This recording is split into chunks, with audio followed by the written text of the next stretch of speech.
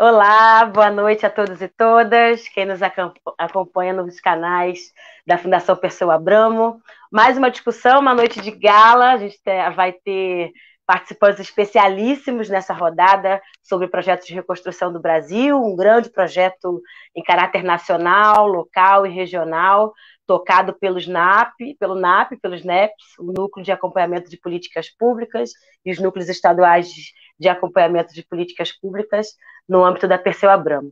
Hoje nós vamos tratar especificamente sobre a crise sanitária e a, a discussão que se faz urgente no Brasil sobre as cidades no pós-pandemia. Nós teremos a presença ilustre, ilustríssima é, do movimento social, é, do governador Flávio Dino, é, do prefeito Edinho Silva, é, o arquiteto Flávio Tavares, fazendo, na verdade, um debate que perpassa, claro, por todos os setores estruturantes da discussão do debate que se faz urgente de reconstrução, mas com foco específico sobre o enfrentamento da Covid-19, um diagnóstico sobre isso, como é é, que na dificuldade de um, de um, plano nacional de imunização, a dificuldade estruturante do governo Bolsonaro de discutir é, planos setoriais, planos casados com outros setores que link debate econômico, o debate de desenvolvimento urbano, o debate de saúde, saúde pública, o debate da justiça social é, e sanitária num contexto é, de acirramento do acesso a, da dificuldade de acesso à água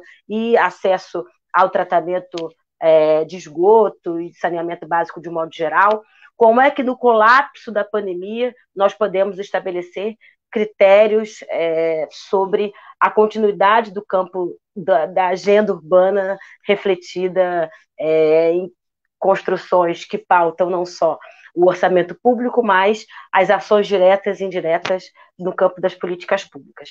Para falar um pouco sobre o nosso projeto, a nossa estratégia, eu quero convidar aqui primeiro o arquiteto, companheiro de NAP Cidades, nosso querido Flávio Tavares. Olá, querido, vem aqui para a tela para falar um pouco sobre o cenário é, do resultado da arte do projeto, que é importante reforçar que está em construção, e o início desse processo é justamente um chamado geral é, sobre uma discussão que se faz urgente. Nós teremos, claro, o Flávio iniciando aqui é, os nossos trabalhos, teremos um ciclo aí é, de conversa pública de 10 minutos para cada palestrante convidado ilustre, e depois nós teremos um destaque, um momento especial para trazer discussões, contribuições nesse processo aqui de discussão.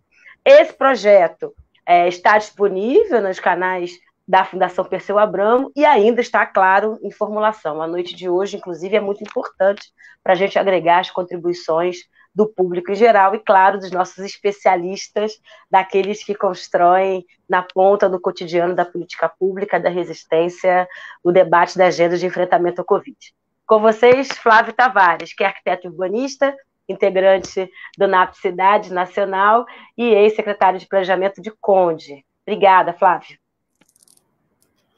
Eu que agradeço, Tainá. Boa noite. E, eu, e o seu nome aí, que é uma amiga queridíssima, que eu tenho muito orgulho pelo que você representa.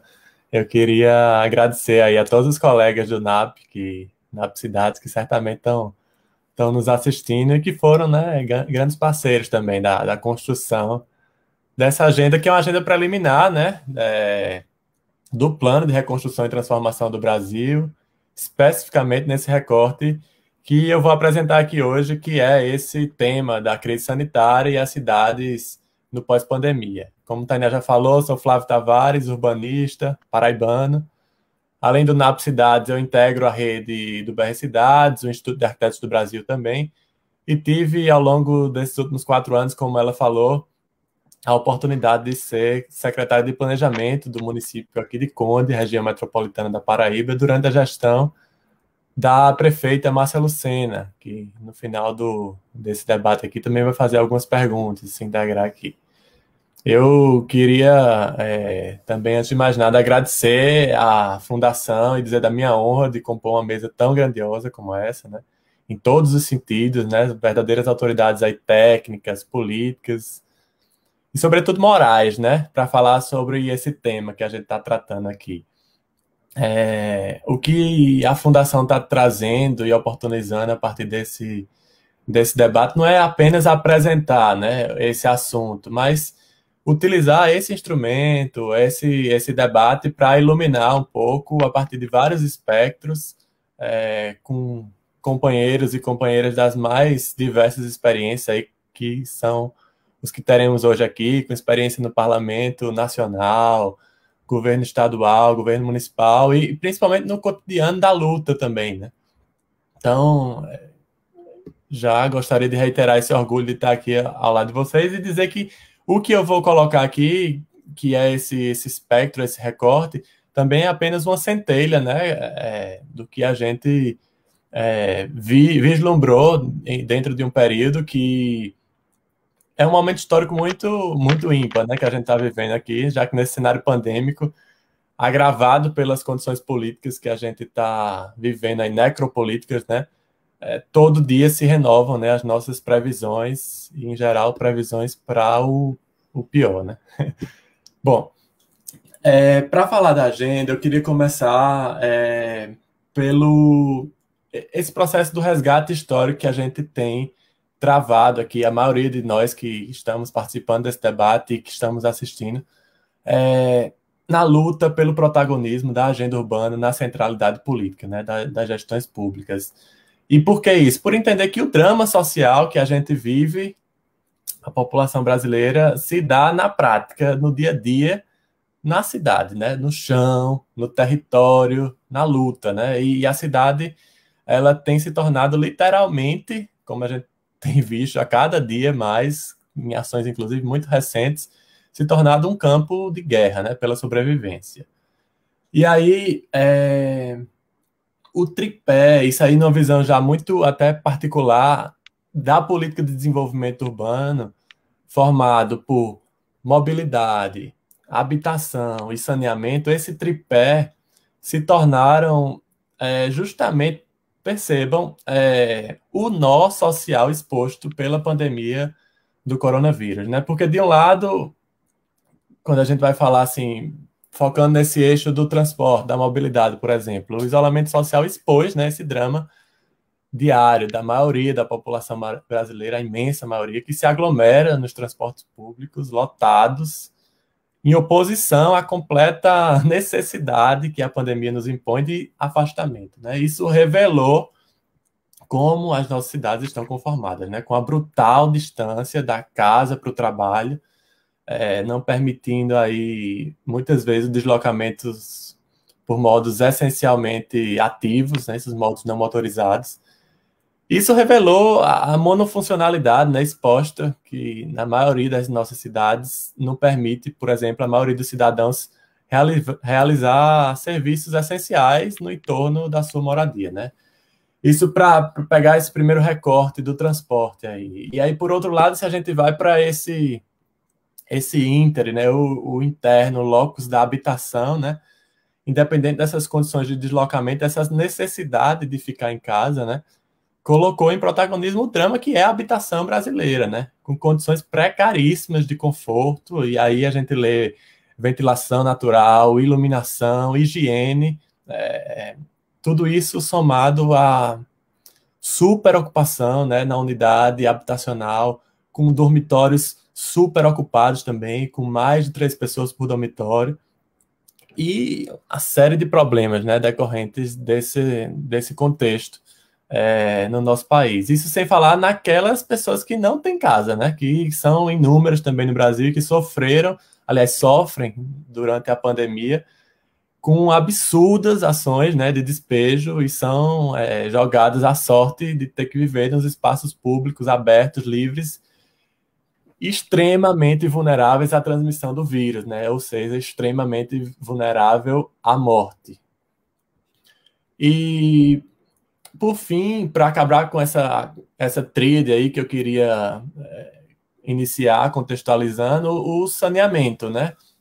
A questão propriamente sanitária que, que a pandemia deflagrou é, colocou essa necessidade completa e regular de proteção contra a infecção de se ter higiene, né? E, e isso é oposto às condições é, de saneamento que o Brasil é, construiu ao longo de toda a sua trajetória, que é essa carência é, é, latente em prover abastecimento de água limpa, saudável, aos milhões de brasileiros que são excluídos né, do processo de urbanização.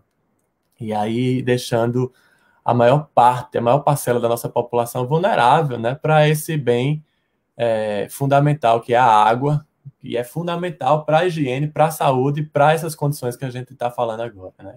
As pessoas não têm água, água. Quem dirá álcool gel, álcool 70. Isso é importante da gente é, colocar. Bom, foi assim que a gente é, propôs, né, dentro desse contexto né, de agenda urbana, é, desde o ano passado, algumas saídas né, que está no nosso plano, que são saídas mais imediatas. O plano tem essa visão de imediatismo, mas também tem visões de médio e longo prazo, que a gente é, discutiu aqui e que certamente que se essas medidas tivessem sido aplicadas desde, desde então, a gente tinha evitado, por exemplo, o caos que está instalado nesse país, né?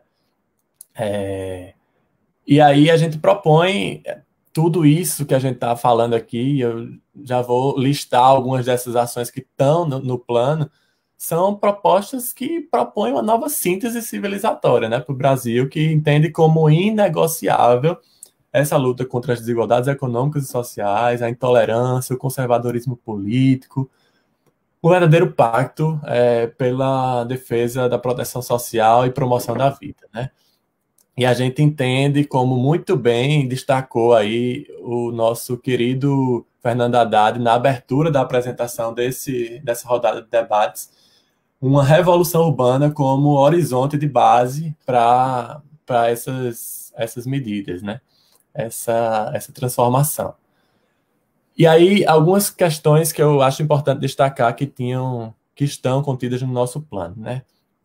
A ampliação imediata, em caráter emergencial, do acesso ao serviço de abastecimento de água, coleta de esgoto, drenagem urbana, energia elétrica e internet nos assentamentos precários. Internet também, inclusive, é fundamental que todas essas condições tenham é, a proporção é, igualitária na, na nossa sociedade.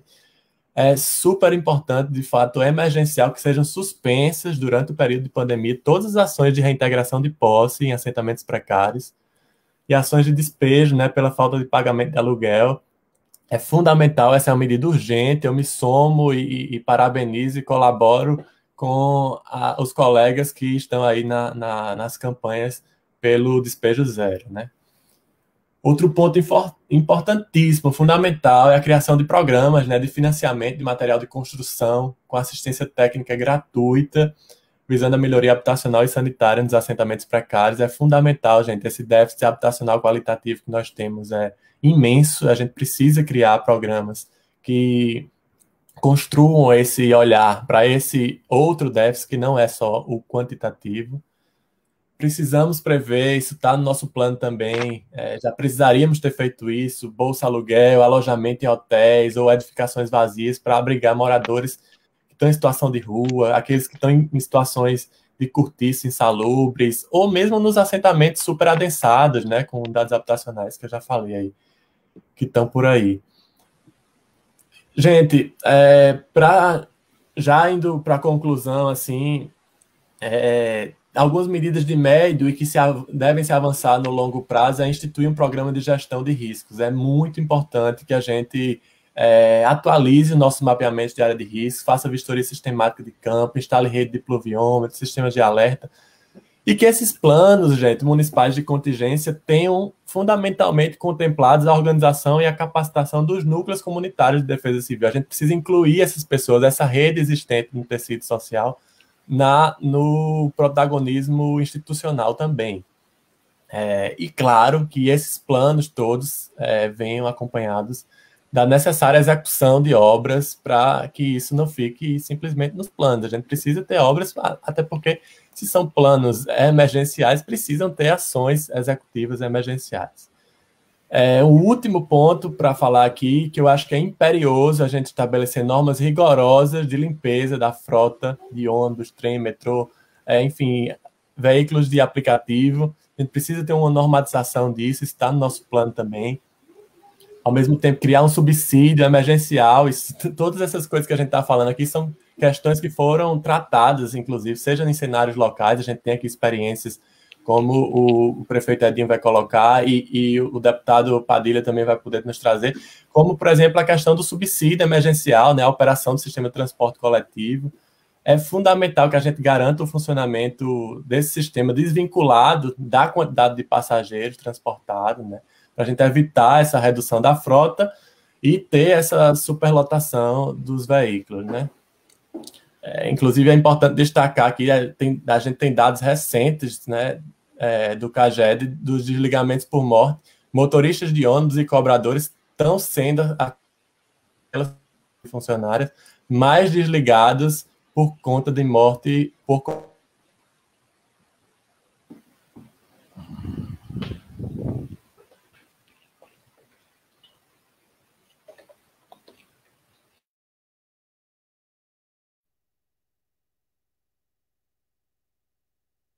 Flávio? Só a minha internet também. que travou? Travou não, também, não. né? É, não estou ouvindo, não. Cleide também não está ouvindo. Oi, Cleide. Eu vou então passar a palavra, enquanto o Flávio é, se reorganiza, acho que ele de fato caiu. Caiu. Quero é, dizer boa noite para o deputado Alexandre Padilha. Já está preparado, deputado? O senhor seria o próximo. Só para te introduzir a esses trabalhos da noite, dessa noite de gala, como, como eu já apresentei. Ah, o Flávio está retornando. Não sei se ele vai querer deixar aqui. Oi, Flávio, está nos ouvindo? Encerra a sua fala para gente. Eu acho que você estava finalizando, mas continua mudo. Seu, seu microfone está mutado. Vocês estão me ouvindo Abriu. agora? Estamos. Bom, Pode encerrar, por favor, antes de eu passar a palavra. Sim. Joia, cortou aqui, mas enfim, eu vou concluir agora. Eu acho que só assim, a transição para esse novo modelo de cidade, como eu falei no começo, requer da gente inovações nas políticas urbanas, né, que priorizem a sustentabilidade ambiental, a transição ecológica, que é um ponto importante que é colocado no nosso plano, a reforma urbana, o combate às desigualdades e, obviamente, que tudo isso sem considerar, né, sem desconsiderar os aspectos econômicos e a geração de emprego. Isso está posto na nossa agenda e eu acho que a pandemia, gente, está aí para isso. Ela é uma coisa que nunca foi vista na nossa sociedade. Nós precisamos e podemos fazer diferente. É possível experimentar, é possível ousar, a gente tem condições de fazer isso e a pandemia é um, um, uma coisa iluminadora para que a gente possa fazer aquela revolução urbana que a Dado colocou no início do nosso debate. Eu acredito no futuro melhor. Vamos juntos. Obrigado. Obrigada demais, Flávio. É, para contextualizar os recém-chegados aqui na nossa noite de gala, o arquiteto Flávio Tavares fez é, um mapa geral da construção até então, esse grande rascunho do projeto de reconstrução, com recorte sobre a crise sanitária e o enfrentamento é, do Covid e o pós-Covid, né? Como é que fica a realidade da agenda urbana no pós-pandemia. Muito por conta disso, deputado, e também, claro, pela sua experiência como ministro da Saúde, o seu entendimento é, do debate da saúde pública numa ação integrada, federativa, é, o debate federativo atrelado à discussão regional local das cidades, a dimensão e acho que o grande desafio que está colocado da gente enfrentar a desigualdade e a morte é, dos mais pobres, eu acho que a desigualdade social do Brasil nunca foi tão clara, se antes já, nós falávamos já bastante de uma agenda necessária social, no debate de assistência atrelada ao desenvolvimento, Hoje, o contexto da pandemia coloca para a gente o que é o braço operativo da necropolítica dentro do seio do capitalismo tão excludente. Os desafios são enormes, a CPI da Covid aí, também queria que você guardasse os minutinhos aí da sua, da sua fala para falar um pouco desse panorama, do que, que nós temos que acompanhar e nos debruçar nesse contexto pós-CPI, quais são os desafios que estão colocados para o campo da política pública para as cidades. Com vocês, nosso, infelizmente, saudoso ministro Alexandre Padilha. Que, sa que saudade, Alexandre, que saudade. Muito obrigado, viu, Tainá? Quero mandar um abraço para o Flávio, para o Ion, um grande abraço para o prefeito Edinho de Araraquara, meu, meu grande amigo, companheiro, e que vem dando um exemplo é, no enfrentamento à pandemia. Um abraço muito especial à Cleide, nossa presidenta da ONAS Heliópolis. Eu tenho acompanhado também desde o começo da pandemia um grande exemplo né, de a partir da ação comunitária, da liderança popular, do papel da UNAS é, histórico, do debate sobre o bairro educador, é, tem mobilizado as forças é, políticas, sociais de, de Heliópolis, que é a maior favela aqui da cidade de São Paulo, quem, quem não conhece, é, para o enfrentamento à pandemia e, e para a construção e fortalecimento de uma rede de solidariedade, algo tão importante nesse momento. Né? Eu quero começar, viu, Flávio, a partir do que você disse da fala do nosso companheiro Fernando Haddad, que eu tive muita honra, muita honra de ter sido colega de governo federal, quando Haddad foi ministro da Educação, período eu fui ministro da coordenação política do presidente Lula, 2009-2010, e aí tinha a responsabilidade das relações com os governadores e prefeitos. E depois, quando fui ministro da Saúde, o Haddad ainda ficou um ano como ministro da Educação, quando era ministro da Saúde, governo Dilma, e depois fui secretário do Haddad aqui na cidade de São Paulo. Eu acho que o mínimo que se espera, como disse o Haddad, de um partido como o PT, da Fundação Pessoa Abramo, parabéns aí ao Nabil pela coordenação desse processo do NAP, do material que vocês lançam, o mínimo que a gente espera de um partido progressista é, como o PT é um propósito de revolução urbana é, das nossas cidades. E que sem essa revolução urbana a gente não supera a pandemia. Falando que isso é muito importante porque a gente precisa reconhecer que os nossos governos, tenho muita honra de ter participado dos governos, estava ouvindo o Flávio pouco desse tripé da mobilidade urbana, da habitação, do saneamento, queria agregar isso, né?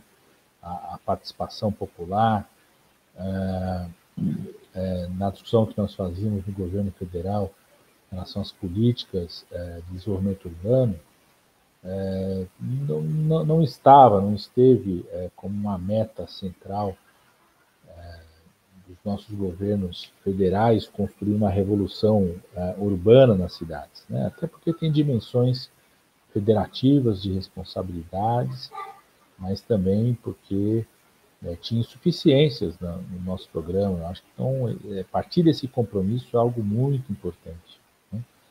É, porque sabermos, né, o PT tem experiência do chamado modo petista de governar, o PT, não acho que isso é exclusivo do PT, o conjunto de partidos o campo progressista tem experiências muito positivas, sobretudo a partir dos governos municipais, depois a partir do Estatuto das Cidades. Né? O Edinho aí tem várias experiências no, no quarto mandato que ele está fazendo hoje, da, das mudanças que fez nessa Araraquara, é, mas a gente de fato precisa assumir isso como um compromisso, porque isso significa é, pensar isso enquanto programa nacional, pensar isso para ser debatido nas eleições, mas pensar um compromisso dos governos estaduais, pensar como que os nossos governos municipais vão, vão ser polos ativos de, de construção política, de elaboração, de crítica, de reflexão como todo. E isso significa pensar uma certa concertação com os agentes econômicos que disputam palmo a palmo dessa cidade, é, uma mobilização dos movimentos sociais, um diálogo intenso com os movimentos sociais. acho que a Cleide é uma grande expressão deles aqui, alunas que é movimento de moradia, a educação, a mãe de mulheres, a juventude, a saúde, assistência social o tempo todo, né? O quanto a associação comunitária tem muita força. Então, é, é, a primeira coisa é isso, a gente ter isso como compromisso. E essa necessidade da revolução urbana ficou mais escancarada ainda com a pandemia. E aí eu quero usar o conceito não de pandemia, mas um conceito que a gente usa também, ah, que é um conceito que foi cunhado a partir da última pandemia do século XX, que é a pandemia da HIV/AIDS, é o conceito de sindemia, né? que uma pandemia não é um fenômeno apenas sanitário, o fenômeno sanitário, o fenômeno sanitário por si só já é muito grave. E o Brasil está vivendo a sua maior tragédia humana, com mais de 420 mil mortos. Ah, mas a, a, a, pandemia, por isso que a gente usa o conceito da sindemia, ela é uma expressão também de outras dimensões desse fenômeno. Né? Tem o fenômeno sanitário, é, do impacto direto da Covid-19, mas não só o da Covid-19, né? tem um represamento gravíssimo de problemas de saúde por conta da própria pressão, da lotação do serviço de saúde, da rede hospitalar. Então, a gente vai ter nos próximos anos é, diagnóstico muito mais tardio de câncer, isso vai impactar no nosso serviço de saúde, piora é, nos problemas de quem tem doença cardíaca, doença pulmonar, é, porque não puderam fazer o acompanhamento nesse período, tiveram que adiar seus exames, piora na diabetes, com doenças crônicas, um aprofundamento gravíssimo do tema da saúde mental. As nossas regiões metropolitanas já são uma das maiores expressões de prevalência de problemas de saúde mental no mundo. A região metropolitana de São Paulo, por exemplo, é a região metropolitana com maior prevalência de transtornos mentais no mundo, dados levantados nos inquéritos articulados pela Organização Mundial de Saúde. Né? É, e tudo isso que demanda para o sistema de saúde. Então, a pandemia é, é esse fenômeno sanitário na saúde, mas a pandemia é, sobretudo, a, a um fenômeno é, econômico, e isso vai se confrontar com que cidade que nós vamos querer discutir. Né? Por isso que eu acho que o tripé mobilidade urbana, habitação e saneamento não dá conta disso. Vamos ter que discutir qual é a cidade que nós vamos construir para que volte a gerar empregos, empregos dignos, com qualidade no nosso país.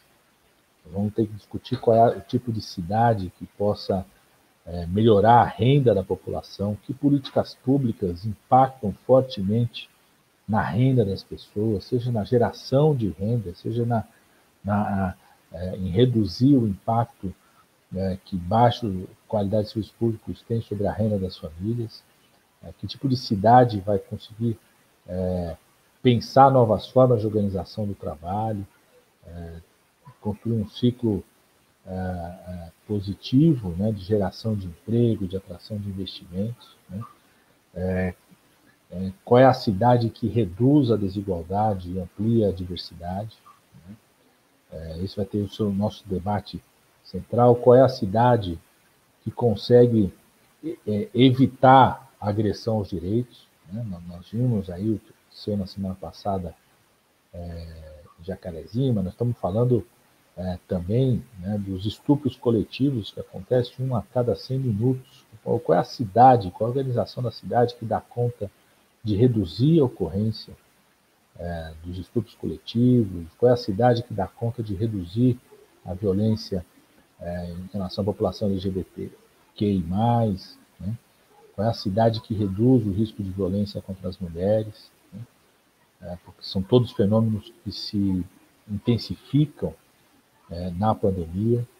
É, a, a sindemia tem aspectos culturais, né? tem fenômenos culturais relacionados com a sindemia.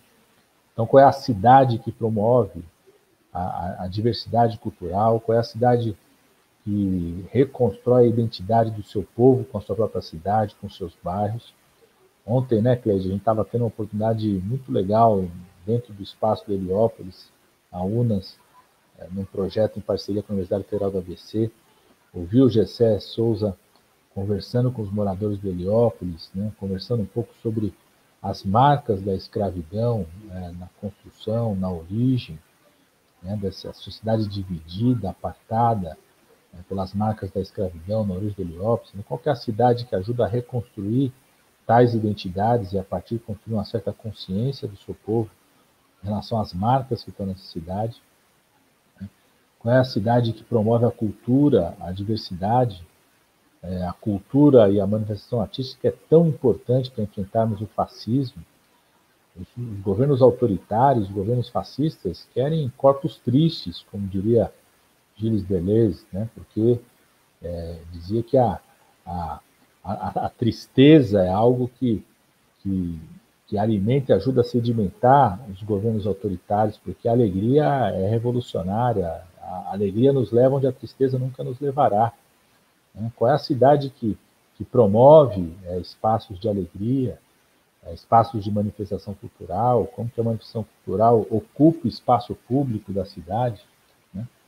É, qual é a cidade que promove a participação política? Porque a, a pandemia, enquanto sindemia, sobretudo no Brasil, ela interditou o debate político. Né? Qual é a cidade que promove é, que, que, a comunicação pelas redes sociais não seja uma interdição é, do debate público na cidade? Então, eu, eu de fato acho que, que, que, que nós temos ah, uma responsabilidade enquanto PT, enquanto Partido Progressista, de construir um programa profundo de revolução urbana, é, que não é um programa de governo para o governo federal, não é um programa de quatro anos, mas é uma agenda política, um programa político de um partido político. Isso tem a importância do PT, dos outros partidos de esquerda, do conjunto de partidos de esquerda, construindo esse programa, porque significa atuação no movimento social, atuação de quem está ali no, nos conselhos de participação da cidade, é, atuação dos prefeitos e prefeitas, dos governos estaduais, do governo federal. E, e, ter essa clareza, que eu acho que o Flávio apontou com tanta força. Né? Não existe, eu, eu insistia muito no debate das eleições municipais no ano passado, o prefeito Edinho sabe disso. É, o programa de governo das gestões municipais, nesses próximos quatro anos, é o programa da superação da pandemia, é, entendida como essa sindemia e todos os seus fenômenos que ela tem. É, e o programa de governo é, de resgate do país é um programa que tem essa revolução urbana como uma das questões fundamentais da atuação. Então, quero saudar, viu, Flávio, a iniciativa, saudar a Tainá pela mediação, a organização desse debate, a iniciativa do NAP aqui, é, ficar à disposição, não sei se vai ter espaço de perguntas, eu ocupei todo o tempo aqui, depois vocês se quiserem saber um pouco da CPI, da, da pandemia, é, mas eu busquei focar nos vários aspectos dessa revolução urbana que a gente precisa construir. Né? É, e acho que o PT e, e, o conjunto dos partidos progressistas, que são a experiência viva, é, tanto desse tripé que o Flávio chamou tanta atenção, que eu, eu, eu concordo, não significa desmontá-lo, né, mas partir dele, é, das experiências vivas de projetos de mobilidade urbana, de habitação, é, de saneamento, é, também acrescentar aqui a participação popular, debates, planos diretores, regulação do espaço urbano. É, o PT, os partidos são experiências vivas disso que foi construído no Brasil, precisam assumir esse tema de uma nova revolução urbana como tema central da sua agenda. É, além do que nós fizemos nos nossos governos federais, além do que nós fizemos durante os governos do Dilma nesse sentido, mas que exijam a capacidade de articulação com a atuação dos governos municipais, dos governos estaduais, com o movimento social, que vai exigir da gente né, um patamar superior. E sem, sem fazer isso, eu acho que a gente não supera os impactos negativos da pandemia e da sindemia que eu trouxe aqui. Então, agradecer, viu, Tainá, ficar à disposição aqui de vocês. Muito bom, muito bom, deputado, ministro. Muito bom, boas reflexões. Agora, quero chamar, é, agradecendo a contribuição do deputado e convocando aqui a nossa queridíssima Antônia Cleide Alves, para quem não conhece, essa guerreira, essa mulher referência de luta para todos nós.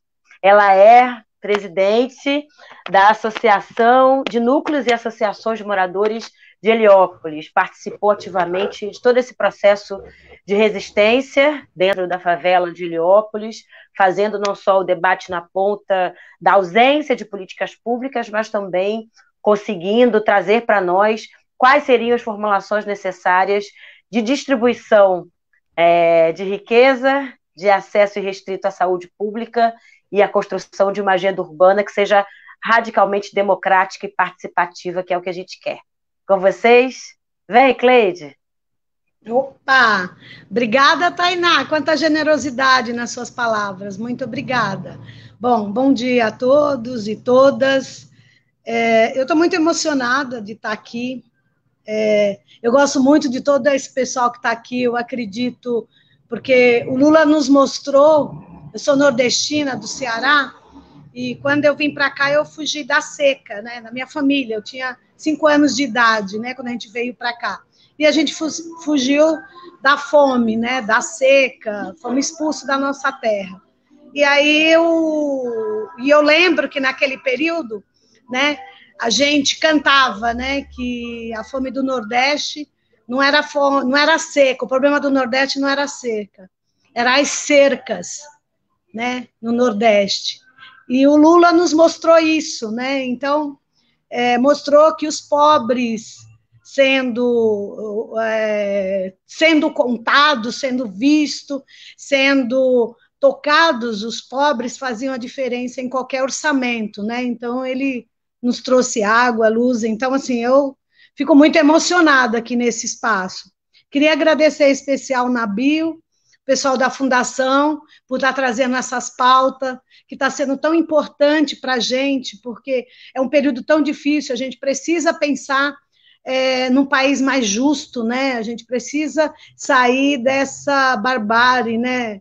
Essas coisas todas que são falados aí pelos esses governos, né? Desgovernos, né? É, nos adoece muito, né? Então, eu acho que é muito importante essas pautas, essas discussões, eu tenho acompanhado, e, como sempre, né, dando pontapé inicial às esquerdas, o PT e a Fundação aí, Perseu, trazendo para a gente redescobrir o Brasil, renovar o Brasil, enfim, né, a gente renovar essas pautas, né. Mas, enfim, eu queria dizer que eu sou de uma organização que é a UNAS, a gente é a maior favela é, de São Paulo, é a segunda maior do Brasil. E nós estamos aqui já há 40 anos. A UNAS é uma associação de morador que ela iniciou a luta pelo direito de moradia. Isso nós estamos falando dos anos 80, né? Com o tempo a gente foi crescendo e a gente não foi, foi resistindo, é, vencemos o desfavelamento, enfim, todas as políticas de exclusão e a gente permaneceu aqui no local, que é o centro, é uma, é uma região privilegiada, perto do Ipiranga, e que hoje, na verdade, nós temos uma população que junta o Ipiranga, o Sacomã, nós ainda somos a maioria, então nós estamos com uma população de 240 mil pessoas, morando num, numa região de um milhão, um milhão de metros quadrados, então, quer dizer, nós estamos muito uns em cima do, do outro, muito do ladinho do outro, né? Então a gente está muito juntinho aqui em Heliópolis, né? E a atuação da UNAS é na área, a gente trabalha a questão do desenvolvimento local, então trabalha muito a partir da necessidade, na necessidade real do povo, né? Então, as nossas questões, os nossos problemas sempre são é, uma ferramenta positiva para a gente fazer as discussões e os debates, enfim, né, os enfrentamentos e as soluções, né? É, tanto é que, por exemplo, a gente tem uma caminhada da paz e essa caminhada simboliza o início dessa caminhada foi o assassinato de uma menina de uma escola, né? Então, nos trouxe uma grande oportunidade de juntar as escolas e aí a gente tem um sonho de construir um bairro educador. Então, a nossa grande potência aqui é essa questão entender a educação como prioritária e uma educação crítica e uma educação de cidadania, né, uma educação que articula escola, território, que ela sai de dentro da sala de aula, né. E aí também a gente hoje atende é, 10 mil pessoas, entre crianças, jovens, atuamos na área de assistência social, que é proteção básica especial, aí creche, é, atuamos na área da cultura, com bibliotecas, né? atuamos também na área de educação, com creche, e temos o que é a nossa base, a nossa sustentação, a nossa vida, né? que é, são os movimentos, né? que é isso, que é o que nos movimenta, que nos identifica, que na verdade identifica as grandes questões da necessidade da, da luta, né, dos, de todo o enfrentamento, de todas as articulações. Aí nós temos os movimentos moradia, LGBTI, negros, mulheres. Então, para nós, essas ações são o que dão norte para o nosso planejamento e para as nossas atividades. E aí, o ano passado, quando é, chega, vou falar chega, né? Quando, na verdade, a pandemia inicia, né? E a gente não tinha a proporção do tamanho, mas tinha uma proporção de um medo que era fica em casa, as, as crianças que a gente atende, das escolas, dos projetos, vão tudo para casa, né? E a gente sabe que era necessário se fazer esse, essa reclusão, né? Vão para casa, mas aí a gente, bom, a gente tinha 55% que vive na economia informal aqui. Né? E a gente, poxa, e agora? Como as pessoas vão sobreviver? Elas vendem é, milho, elas vendem é, tapioca, enfim, né? Como elas vão sobreviver, né? Então, foi um baque muito grande. A gente, as crianças, como vão comer? A gente recebe criança que a única refeição é a refeição que, que é dada nas creches, ou nos CCAs, né? E assim também nas escolas. Poxa, o que, que a gente vai estar tá fazendo com isso?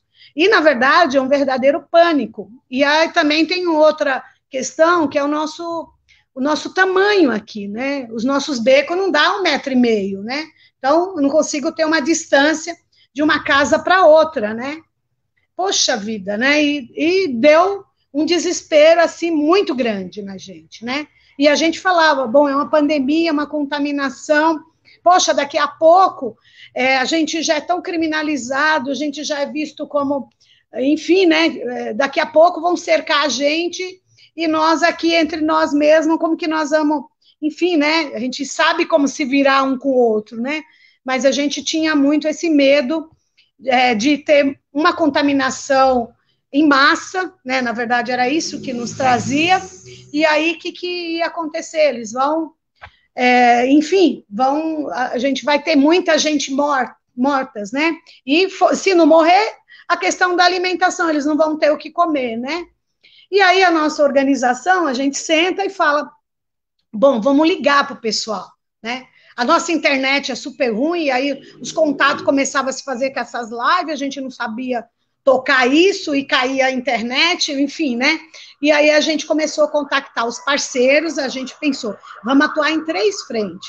Vamos contactar todos os parceiros conhecidos, vamos entrar em contato, eles precisam trazer alimentação para a gente chegar na casa dessas crianças, chegar na casa dessas famílias, enfim, vamos fazer. E aí reunimos mais de 400 pessoas, um batalhão de pessoas, todas com muito medo, claro, do primeiro momento, muito medo mesmo, né? E vamos para atrás de alimentação. Essa foi uma frente. Fizemos uma outra frente de prevenção. Fizemos cartazes, saímos fazendo cartazes, colocando na rua, distanciamento, cuidado. Não existia álcool gel, estava muito caro, a televisão falava para usar álcool gel, e a gente aí, vão lavar as mãos, enfim. Essa, uma verdadeira batalha nas ruas, faixas, carro de som, saía com carro de som de manhã, tarde, noite, distanciamento, né? Conseguimos um projeto de geração de renda para se fazer máscara, então é, fizemos 220 é, mil máscaras com 50 costureiras, foi muito importante, foi uma, uma é, do início aqui a gente conseguiu trazer logo essas máscaras, logo no começo de junho, final de junho para começo de julho, a gente já inicia com essas máscaras, e vamos entregar nas ruas, entregamos 320 mil máscaras. E naquele período, tinha uma fala, que, é, por isso que eu falo do desgoverno, né, do, do Bolsonaro, que dizia o seguinte, não use as máscaras, que as máscaras são da China. E a gente precisava falar para as pessoas, e a gente falava, gente, essas, essas máscaras foram as costureiras do Heliópolis, né, daqui 52 costureiras que fizeram para vocês. E era assim que a gente entregava essas máscaras numa grande caminhada aqui dentro, e aí a gente também foi para os bairros vizinhos, para as favelas vizinhos, Vergueirinho, fomos para o Savério, enfim, fomos para todas as regiões, em Singapura, e saímos entregando, e com essa tome cuidado, enfim, fazendo todas essas campanhas, né? E a terceira era Bom, o, a gente sabia que não tinha muito como esperar, mas a gente é a função, o poder público. Acionamos o poder público no sentido que a gente queria que eles. A questão do seguro emergencial não era seguro, a gente falava uma renda, um valor, precisa ter qualquer coisa, e não chegava. E aí eu parabenizo muito os partidos, os deputados de esquerda, né, todo aí o PT, mas todos os partidos que conseguiram passar esses 600 reais, que foi uma grande, é, foi muito importante para salvar vidas naquele momento, muito importante mesmo, né? Então, dizer isso, que isso foi muito fundamental. Então, a gente tinha essa pauta nessa questão do poder público, tinha a pauta tipo da testagem, vamos fazer testagem, e quem tiver com Covid, arruma um local, ou um hotel, ou uma casa, a gente isola essa pessoa nesses 40 dias, né? E nada, não vinha. Vamos fazer aquela parte de esterilização nas nas ruas, tal. Enfim, terceiro, e aí só veio, e também tinha um hospital de campanha, que a gente tinha muita preocupação. No final, a gente conseguiu o hospital de campanha. Mas eu digo tudo isso, né? Então, essa, essas frentes, a gente vê que contou muito com a solidariedade das pessoas, isso eu acho que, nesse momento que a gente viu é, o escancarar né, de toda a desigualdade, né, o sofrimento, porque a gente está falando de um país muito desigual, né, muito injusto, né, e que os pobres são criminalizados, né, é assim um pouco, é assim que a gente sente aqui, né, muito criminalizado, quando a polícia vem, né, e o Padilha tocou aí da, do Rio, do Jacarezinho, que aquilo foi um assassinato, né, que aconteceu, e a gente percebe que, na verdade, é, quando se entra aqui na, nas favelas, e como a gente é visto, é com essa criminalização, né, com essa com esse jeito, né? Mas, enfim, acho que contar também que a gente teve muita solidariedade, né? A gente conseguiu se ajudar muito aqui um outro, né?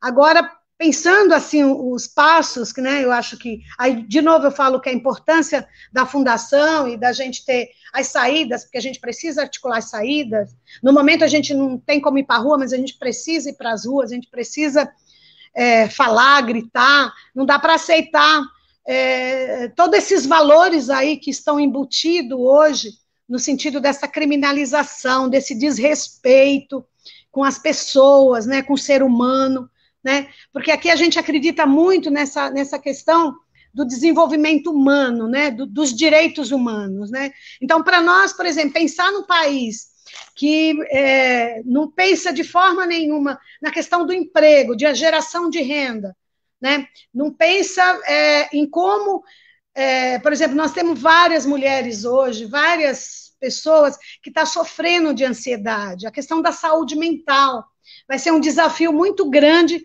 para esse pós-pandemia. Essa questão do, é, do distanciamento, né, que precisa ter, não isolamento, né? Tem diferença disso, né? É o distanciamento. Então, isso, pensando no pós-pandemia, é uma coisa que, por exemplo, se torna muito, é, muito importante para a gente olhar essa coisa da, da, da, da, saúde mental. Bom, mas enfim, acho que tem vários outros é, desafios, mas eu colocaria isso. A importância que o ser humano e a solidariedade desse nosso povo, né, desse povo brasileiro e essa resistência que esse povo brasileiro e que as comunidades, as favelas, né, a gente tem tido contato com as pessoas e como o nosso povo é persistente, como o nosso povo é leão, né, em todas essas situações, né. Bom, mas enfim, eu vou ficando por aqui e agradecendo mesmo o espaço, agradecendo Padilha, você tem nos valorizado, tem nos fortalecido, porque essas coisas normalmente é o combustível para a gente. Por isso que eu digo o tanto, tanto da importância do que a fundação e de todos vocês, todas vocês que estão discutindo. Muito obrigada, boa noite para todos e todos. Obrigada. Boa noite, Cleide. Nós que agradecemos, imagina, por tua luta, por tua garra.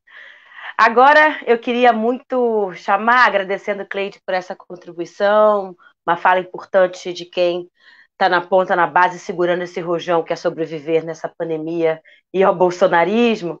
Queria chamar esse prefeito que, na verdade, pautou e vem pautando as políticas públicas no enfrentamento ao Covid. É, falar que o Edinho Silva, sem dúvida alguma, é uma dos, um dos tomadores de decisão mais importantes nesse cenário trágico de inexistência de campo programático, de discussão aprofundada nos tomadores de decisão. A gente tem aí o Edinho Silva, tanto na discussão do lockdown, quanto na discussão do plano de humanização municipal, quanto no enfrentamento, na construção de políticas de fome e miséria. O Edinho está na crista da onda da discussão, eu diria, é, não menos do que na América Latina, tendo em vista a, a dificuldade completa de uma gestão integrada é, do governo federal nesse enfrentamento. Diria que o prefeito Edinho Silva fez milagres. Perdão pela licença cristã aqui, mas sem dúvida alguma a gente te agradece, Edinho, como planejadores urbanos, como agentes do campo de públicas, você sem dúvida é uma referência hoje. Agora, Edinho, o que fazer de Araraquara, o que fazer das cidades no pós-pandemia? Obrigada demais pelo aceite do convite. Primeiro, muito boa noite a, a todas e todos. Muito obrigado pelo convite, Tainá. Muito obrigado pela acolhida. Eu quero, mesmo estando nos bastidores, eu quero agradecer muito o Nabil né, pelo convite, é, por ter insistido tanto para que eu estivesse aqui. E eu me sinto honrado, muito honrado mesmo, de estar participando desse espaço tão importante de formulação da Perseu Abramo, de formulação do nosso partido, do campo da esquerda, né, num momento de extrema gravidade como esse que nós estamos vivendo. Mas para que eu não antecipe aqui as questões que eu, que eu gostaria de pontuar, eu quero continuar saudando, saudando Flávio, parabéns pela sua intervenção, Flávio, saudando a nossa querida Antônia Cleide, é, saudando meu irmão, de tantas jornadas e de outras tantas que virão. É, Alexandre Padilha, nosso deputado federal, ex-ministro, figura tão importante para todos nós. E eu não sei se o Flávio Dino vai entrar, mas não, não sei se teria oportunidade de saudá-lo também, mas é, já deixo aqui, caso ele tenha esse espaço na sua agenda, que deve ser muito complicada, fica aqui a minha saudação ao Flávio. Eu, eu Tainá, eu, eu gostaria, para que eu não me estenda muito, claro que eu sei que o meu convite aqui se deve muito às iniciativas que a Araraquara teve no enfrentamento à pandemia, mas como prefeito, gostaria apenas de aproveitar a oportunidade para, claro, sem me descolar aqui do desafio, que é a reflexão é, sobre a pandemia, mas pautar é, algumas questões que eu penso são importantes. É, sobre o. Enfim, primeiro, deixa eu falar um pouco o que eu penso. É, nenhum de nós ainda tem a exata dimensão do que representa e do que vai representar essa pandemia é, no Brasil e no mundo. É a maior tragédia humanitária da história brasileira e no pós-Segunda Guerra Mundial é a maior tragédia humanitária do planeta, né? tanto do ponto de vista é, da contaminação, dos óbitos, como do ponto de vista da economia, né? da depressão econômica que a pandemia provocou em todos os países, absolutamente em todos os países, das grandes potências aos países mais pobres. Então, um, um fenômeno que tem esse impacto e essa importância, claro que nós estamos ainda tentando entender o que é que está acontecendo é, no mundo, e aí o que efetivamente será do mundo, é, eu não sei se pós, é, até, até porque hoje, né, que é uma coisa que todos os infectologistas, o, o Padilha que está aí pode enfatizar, estão dizendo que é, a vacina é importante, ela gera imunidade, evidente, é a única arma que nós temos para lutar contra a pandemia, mas mesmo os países que aceleraram o processo de vacinação, os óbitos reduziram, portanto, a letalidade que caiu, né? as pessoas estão morrendo menos de Covid-19, mas não caiu a contaminação, né?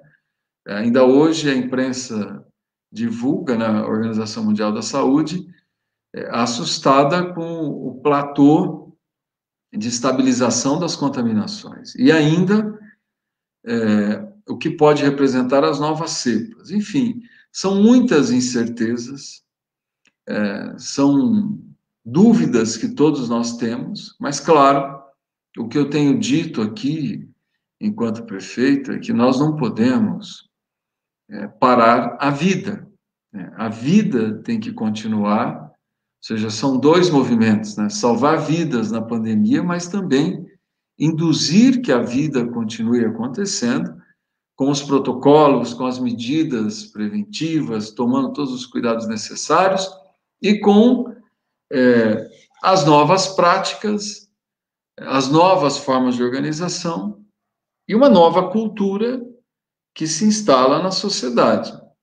E, claro, recuperando aqui a fala do Flávio, é, e onde que tudo isso acontece? E não é, porque a gente, né, quando é, é, a minha quarta vez né, que eu sou prefeito de Araraquara. Quando a gente vai, né, eu sou da Frente Nacional de Prefeitos, quando a gente vai dialogar, é, a impressão que dá é que toda vez que a gente fala da cidade, fica parecendo que nós estamos falando, valorizando o nosso espaço em detrimento dos outros. É, vem aí os prefeitos, eu cansei de ouvir isso. Padilha, que foi ministro das Relações Institucionais, cansou muito mais do que eu. Vem aí os prefeitos, pedindo e achando que tudo tem que ir para os municípios. Mas o Flávio falou uma coisa que ela é simples, mas ela é objetiva e ela é real. É na cidade que a vida efetivamente acontece. É na cidade que nós estamos vivendo transformações profundas, profundas, impostas pela pandemia. E claro que nós temos que entender como que efetivamente essas mudanças vão ocorrer no espaço da cidade, que se nós não entendermos isso, nós não vamos entender as novas formas de organização da sociedade. E nós não entenderemos o que efetivamente está em profunda mutação nesse momento. Então, eu penso que esse debate e essa centralidade da cidade, claro, nós vamos discutir né, nós estamos discutindo aqui um projeto de reconstrução do Brasil, nós vamos discutir grandes planos, grandes projetos, claro que são importantes. Até porque eu tenho dito, é, Tainá, e quero repetir, eu penso que esse é o nosso papel mesmo. Porque 22, para que a gente debata com a sociedade um projeto de reconstrução do Brasil, 22 não é 14, não é 10, não é seis e não é dois. 2022, nós estaremos dialogando com uma outra sociedade, com uma outra realidade brasileira. Infelizmente, com uma outra formação, inclusive cultural política. É, uma, é um outro Brasil que nós vamos dialogar em 22. Nós temos que entender isso. Eu sei que é difícil, eu sei que muitos de nós têm resistência, mas nós temos que entender que o Brasil de 22 é um, um outro país, com os problemas piores do que de 14, do que de 10, talvez infinitamente piores. Mas organização profunda das políticas públicas é verdade, mas é um outro país. É um outro país com outra organização social, com outra organização política, é, e, portanto, debater um projeto de país nessa realidade vai exigir muito, absolutamente muito de nós e muita capacidade é, e muita capacidade de compreensão. Nesse sentido, o que, que eu penso que é importante nós entendermos, inclusive para entendermos é, a pandemia? O Pacto Federativo ele se desintegrou. Não existe mais Pacto Federativo no Brasil. Não existe. Você pode até e lá na Constituição tem o desenho do Pacto Federativo, mas na prática, na organização das políticas públicas, esse pacto se desfez. A gestão das políticas públicas no modelo tripartite, esse modelo de gestão, ele está totalmente desorganizado. Totalmente desorganizado. E claro, vai dizer, ah, de novo, choradeira de prefeito. Não é choradeira de prefeito. É só nós olharmos efetivamente o que aconteceu no último período em termos de arrecadação, em termos de financiamento, em termos de organização das políticas públicas, em termos de papel de cada ente federado na gestão dessas políticas públicas. Na pandemia, então, e não vou aqui me estender, mas o Padilha sabe disso, em 2020 foi uma excrescência. A forma como se deu repasse aos municípios é, foi para desorganização total, inclusive do sistema SUS. Não tinha equidade, é, não tinha é, nenhuma forma de organização do financiamento por capacidade de atendimento, por população, por estrutura instalada, enfim, por referência de regional de saúde, por, por referência de especialidade, nada. Tanto é que nós tivemos municípios no Brasil com superávit financeiro, porque receberam recursos muito além do que deveriam ter recebido pela estrutura de atendimento de saúde. E outros municípios receberam recursos proporcionalmente inferiores, porque o critério não foi a critério da gestão tripartite, do financiamento das políticas públicas. Então, o Pacto Federativo, se nós queremos debater, se nós queremos debater efetivamente o papel do município e, e, qual é o papel que a cidade cumpre, as políticas públicas, o princípio desse debate é de efetivamente irmos para dentro do desenho do Pacto Federativo e de que forma que ele se dá. Para que eu não me alongue muito, eu gostaria de destacar aqui alguns pontos, é, para que a gente pense o que a pandemia e, e a cidade. Primeiro, é, eu não tenho nenhuma dúvida que a concepção, mais do que nunca, Tainá, é, Padilha, Flávio, Antônia Cleide, enfim, todos que estão nos assistindo, que o conceito é, de, de previdência social, mais do que nunca, ele tem que ser resgatado. Ou seja, o conceito é, do que é nós termos políticas instituídas de previdência. Ou seja, se tem algo que nessa pandemia e, repito, eu não gosto, e já estou parando de usar o conceito pós-pandemia, porque eu não sei o que é pós-pandemia. Eu não consigo afirmar. Talvez o Padilha, como infectologista, afirme melhor do que eu. Eu não consigo afirmar o que é pós-pandemia. Eu não sei se ela vai passar, então que conceito é esse de pós? Talvez nós tenhamos que conviver por muitos anos uma doença infrequente, com vírus em frequente mutação, em frequente mutação, e a ciência lutando para estabilizar essa relação. Mas o conceito de previdência, que a Constituinte de 88 pensou, mais do que nunca ele é central. Porque a saúde assumiu uma centralidade é, que ela sempre teve, porque as pessoas precisam viver, precisam ter qualidade de vida, precisam, é, quando ficam doentes, ser atendidas, enfim, a saúde sempre foi central. Mas o conceito de previdência social, ou seja, a saúde, a prevenção, é, a garantia do direito à alimentação, a garantia do direito é, à moradia digna, né, as condições sanitárias, esse conceito mais amplo de previdência social, ele efetivamente e não é no discurso, ele tem que assumir centralidade. Por exemplo, eu quero aqui, para que eu é, talvez explicite melhor, é, nós tivemos aqui em Araraquara dois pilares que funcionaram efetivamente bem para que a gente enfrentasse a pandemia. Primeiro, a assistência à saúde. E o segundo, assistência social.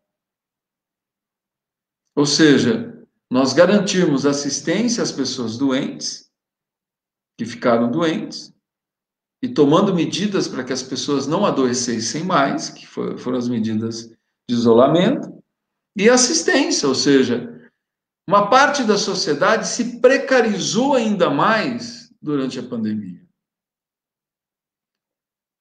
Uma parcela importante das famílias que já vinham em vulnerabilidade, porque a crise econômica ela é longa, o desemprego é, se arrasta há anos, mas tudo isso se agravou durante a pandemia por um simples motivo. Nós desaceleramos as atividades econômicas para poder conter a doença. Então, aqueles que estavam precarizados é, tiveram a sua precarização aprofundada. Então, nós temos que garantir o direito básico à sobrevivência das pessoas. Suspender, eu acho que você está correto, Flávio. Eu acho que é, uma medida que nós tínhamos que tomar. Eu não sei se nós temos força no Congresso, mas tinha que suspender despejo, corte de energia elétrica durante esse período que nós estamos vivendo. Acho que já deveria ter, inclusive, ter sido feito, porque é, é, nós estamos vivendo já um período longo, né, porque foi, o Brasil foi interessante em 2020, todo mundo se assustou com a pandemia, várias medidas foram tomadas, até esses exageros e a falta de coerência em repasse de recursos. Aí é, se suspendeu várias questões, várias medidas que para que a sociedade não se onerasse durante a pandemia. Em 21, a mutação é, do coronavírus teve impacto pior que 2020 e nada foi feito. É uma contradição que, sinceramente, não dá para você entender. Nós estamos vendo é, as grandes potências econômicas tomando medidas, inclusive de ampliação da base monetária, né, as medidas mais keynesianas possíveis para que a economia retome. O Brasil, nós não tomamos nenhuma medida de fato, não teve fortalecimento do sistema de atendimento de saúde com, com repasse maior aos municípios, nós reduzimos o auxílio emergencial, né? nós não suspendemos despesas que poderiam ter sido suspensas, como permitir que o, o setor empresarial é, pudesse, por exemplo, não repassar suas contribuições previdenciárias por um período, linha de crédito para pequena e média empresa. Nada disso aconteceu. É, nós estamos tendo, na, não foi feito nada para impedir despejo e nem corte de energia elétrica.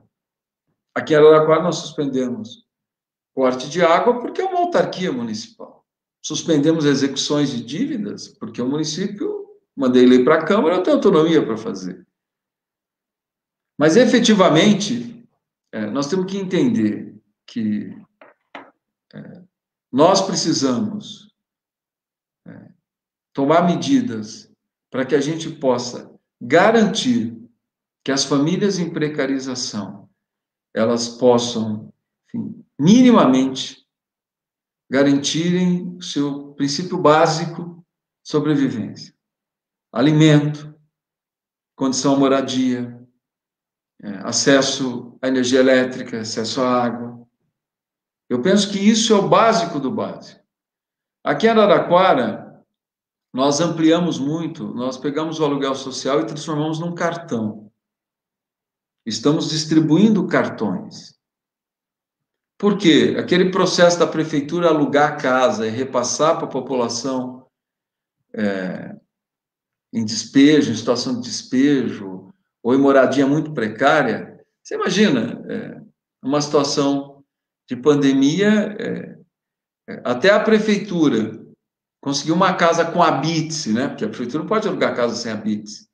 Né? Até a prefeitura conseguiu uma casa totalmente legalizada, a família já ficou 90 dias é, debaixo da lona. Então, nós transformamos o aluguel social num cartão, para que porque a pessoa com cartão, ela, ela aluga a casa que não tem habits, que não está regularizada, mas pelo menos ela tem uma casa. Nós ampliamos muito os programas sociais. Né, para as famílias em vulnerabilidade, criamos duas frentes de trabalho, enfim.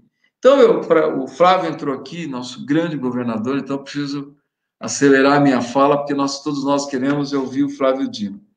Eu, eu, eu, destacaria essa questão nós pensarmos efetivamente a cidade como espaço onde a assistência à saúde efetivamente aconteça, né, o conceito de previdência social e a questão da vida é, minimamente é, ser garantida. O acesso à alimentação, o acesso à moradia, o acesso ao transporte, o acesso aos serviços básicos, entre eles energia elétrica e água.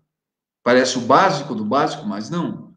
Hoje, se nós olharmos as nossas cidades, São Paulo deve ser milhões, Araraquara milhares de famílias que tiveram energia elétrica cortada, os despejos continuam acontecendo. A água não corta porque é uma autarquia municipal, autarquia municipal. Eu colocaria como, para que eu acelere, a questão do trabalho, é, porque várias profissões não vão retornar. Várias profissões serão extintas definitivamente na pandemia.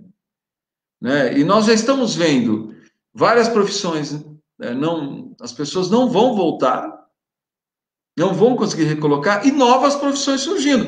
Eu participei é, outro dia de um debate com os companheiros da CUT, e eu falei a eles que o maior sindicato hoje do Brasil é o sindicato dos motoristas de aplicativos seja de moto, seja de carro. Qual é o sindicato? É a maior categoria. Qual o sindicato que está dialogando? Que organização sindical que eh, efetivamente dialoga com essa nova profissão, com esse novo profissional? É a maior profissão do Brasil. Aqui em Araraquara, nós é, tomamos por iniciativa, e, e durante a pandemia, nós aceleramos muito o processo de organização de cooperativas para que a gente organize uma parte desses trabalhadores empregados que não vão voltar.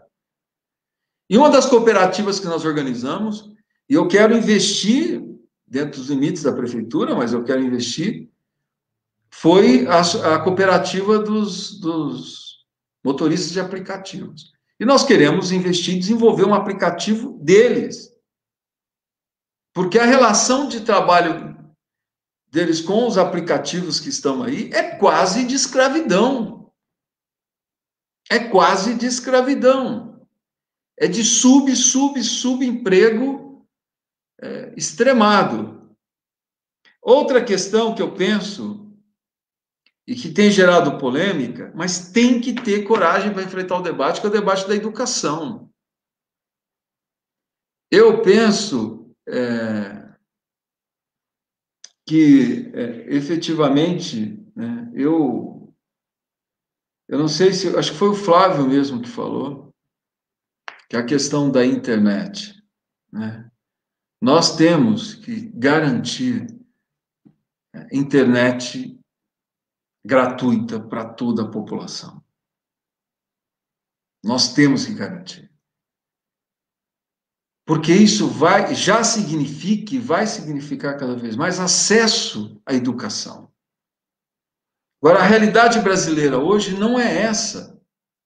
Você não tem acesso à internet. Essa é a cidade real. E é essa cidade que tem que ser pensada. Você não tem acesso à internet e as pessoas e as famílias não têm equipamentos para ter acesso à internet. Eu tenho feito esse debate aqui, o Padilha tem acompanhado de perto a minha angústia. Eu digo, é, muitas vezes o equipamento que a família tem é um celular da mãe. Porque aquela concepção também, essa é a cidade real, né? A concepção daquela família de propaganda de televisão, de revista, né? Aquela família não existe. A maior parte das famílias hoje somente das regiões periféricas, a mãe é arrimo de família. E a mãe, se ela não levar o celular, ela é diarista. Se ela não levar o celular, não arruma o emprego do o trabalho dela do dia seguinte. Como que essa criança vai ser alfabetizada ou vai desenvolver a sua, o seu potencial é, sem nenhum estímulo. Então a criança não tem acesso à internet, não existe equipamento. E a Prefeitura de Araraquara que fez uma experiência, Flávio, Flávio Dino, meu governador. Foi bem interessante. Nós imprimimos material didático e distribuímos. Uma parte das famílias não foi sequer retirar o material didático. E uma parte das famílias que foram retirar não devolveram o material didático. Ou seja, a criança não foi estimulada. O que, que isso vai significar lá na frente? Vai significar que nós temos uma geração, geração da pandemia, se nós não fizermos nada, de crianças, que nós estamos caminhando para o segundo ano, analfabetas. E a gente sabe o que, que isso significa, né, Tainá? Né, Antônia? Vai significar o quê? Eles vão esticar até o fundamental, depois eles param. Porque eles acham que o problema é deles. Porque eles estão sempre atrasados em relação aos outros. Eles estão sempre correndo atrás dos demais, da sala, do convívio.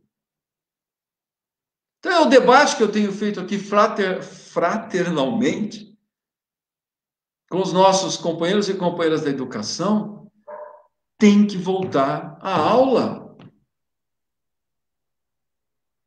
Para essa criança, para esse adolescente, alijado, alijado das famílias vulneráveis, a aula precisa voltar e precisa voltar para o processo educacional. Senão nós estamos efetivamente consolidando um abismo de uma geração. A geração desses que estão agora no processo de estímulo cognitivo no meio da pandemia, e uma geração que não vai conseguir efetivamente ter oportunidades, porque nós vamos consolidar entre aqueles que têm conhecimento e aqueles que não têm conhecimento.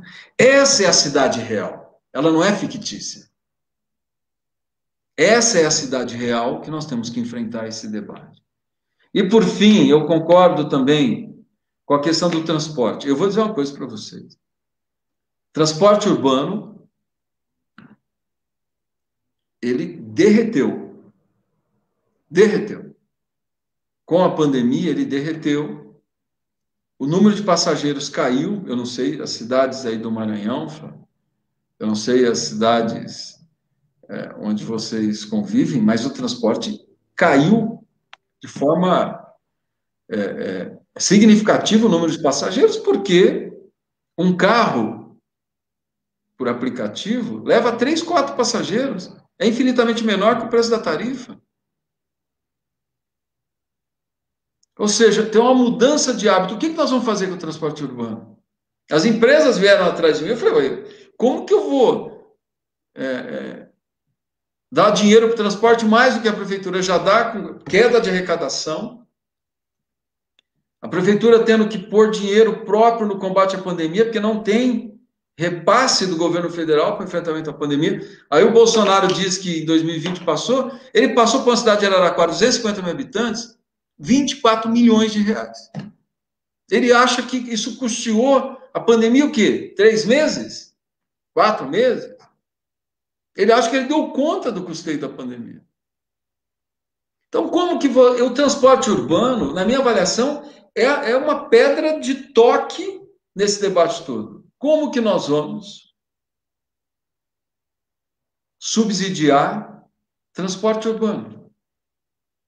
Que modelo de pacto federativo efetivamente vai ser implementado, onde o transporte urbano, porque a precarização na pandemia, viu, Flávio Tavares, você que é, tá, eu acho que tua fala foi muito boa, é, a, se precarizou em toda a cidade. Eu quero que algum gestor, ou mesmo o Flávio, que tem transporte metropolitano, diga que lugar que não precarizou, que não foi retirado é, ônibus que as empresas não enxugaram, e mesmo assim, todas elas, ou a maior parte delas, é, trabalhando com déficit. Então, o transporte, de fato, é um grande desafio. Eu quero encerrar aqui é, dizendo, portanto, que eu penso que esse, essa iniciativa da Fundação Perseu Abramo é, é, é, é muito oportuna essa iniciativa. Acho que debater a cidade nesse momento, efetivamente, é debater que modelo de sociedade nós queremos organizar. É nós debatermos efetivamente é, que proposta de sociedade nós vamos apresentar. É, é, sabendo isso, que as mudanças e as transformações, elas estão se dando no espaço geográfico, na vida real das cidades. E as transformações não são pequenas, elas são profundas, profundas. Sejam elas no modelo de assistência à saúde, no modelo de assistência social, é, no, na concepção de segurança, né, inclusive aí a moradia, o acesso aos, aos, aos serviços básicos, a questão do trabalho, da renda, do emprego, a questão do transporte. Ou seja, que debate que, que nós gostamos tanto de fazer, que concepção de sustentabilidade que se coloca para todos nós que queremos é, uma nova forma de organização da sociedade. Então, a pandemia tem provocado, além da maior tragédia humanitária da nossa história, tem provocado mudanças profundas na organização social e econômica. E essa mudança, ou essas mudanças, elas se dão no espaço das cidades. Muito obrigado. Eu que agradeço, prefeito. Quero, para além de parabenizar a fala, a brilhante fala do Edinho, convocar aqui o nosso último palestrante.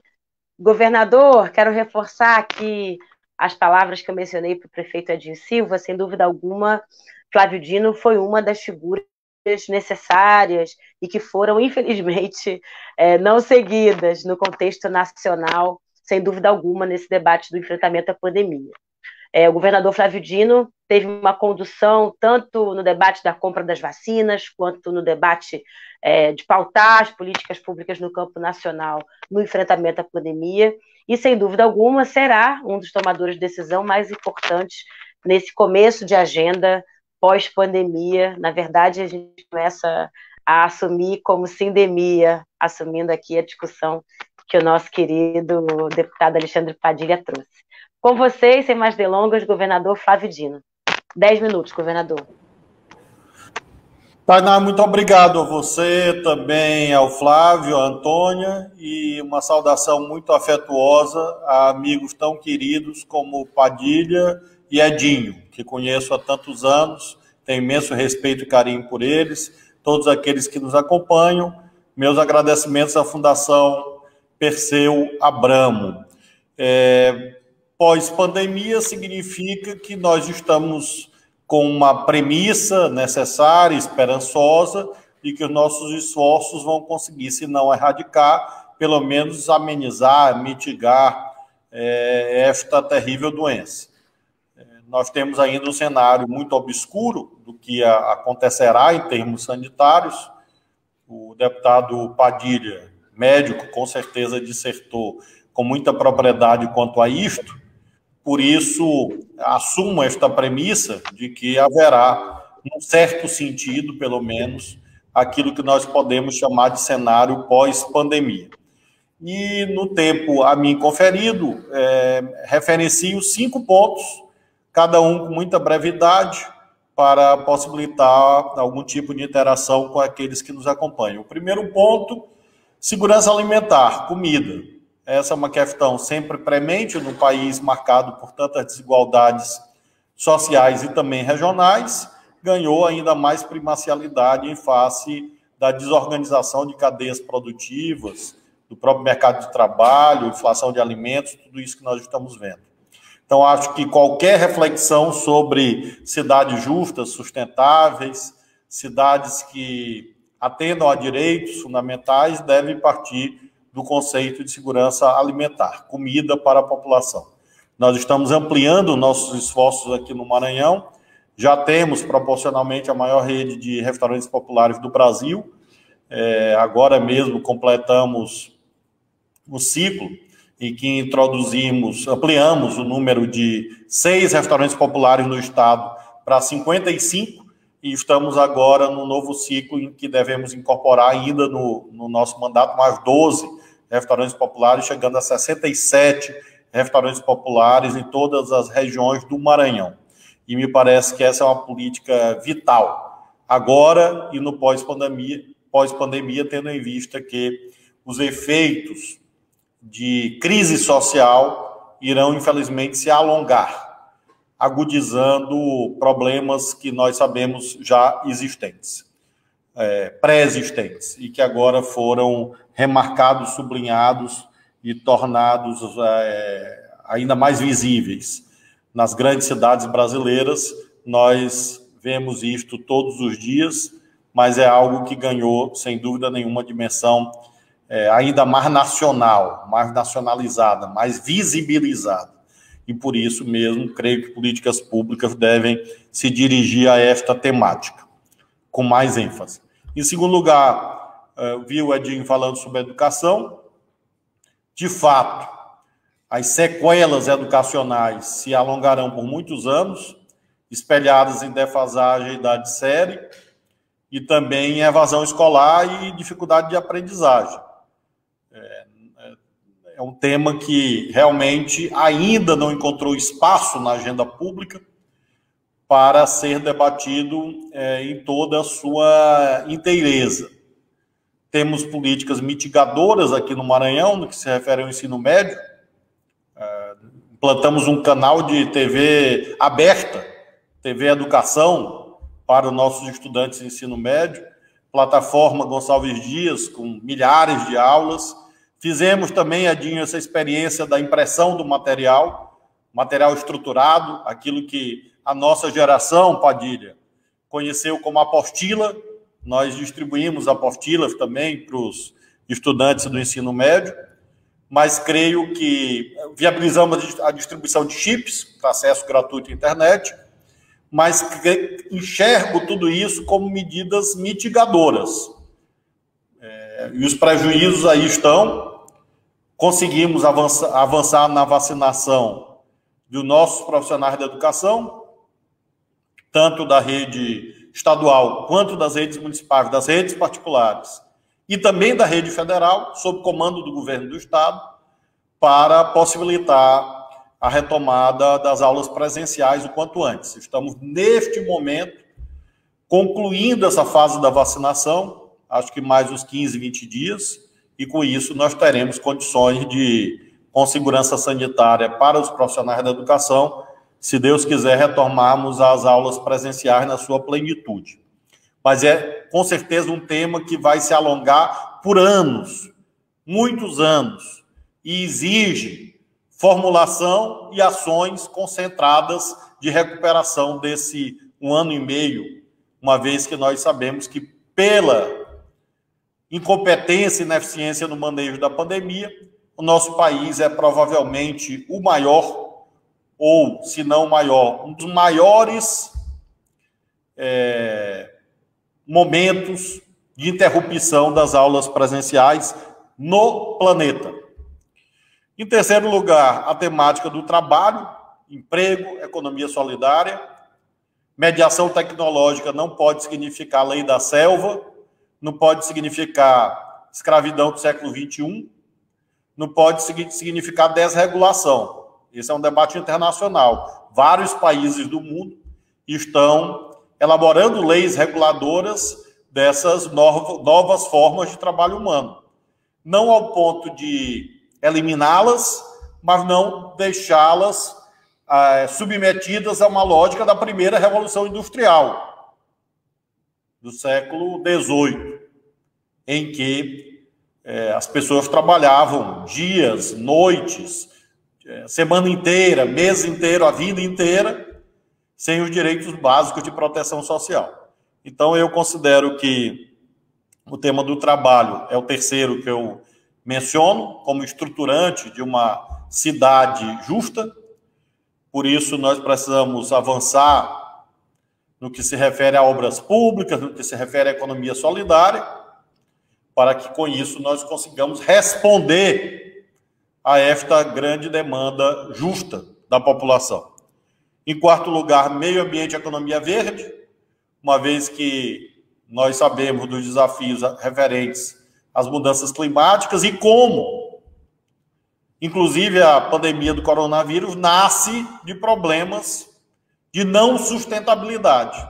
Consumo perdulário, a ideia de que você pode modificar a natureza de modo de maneira indefinida, ilimitada, como se não houvesse amanhã.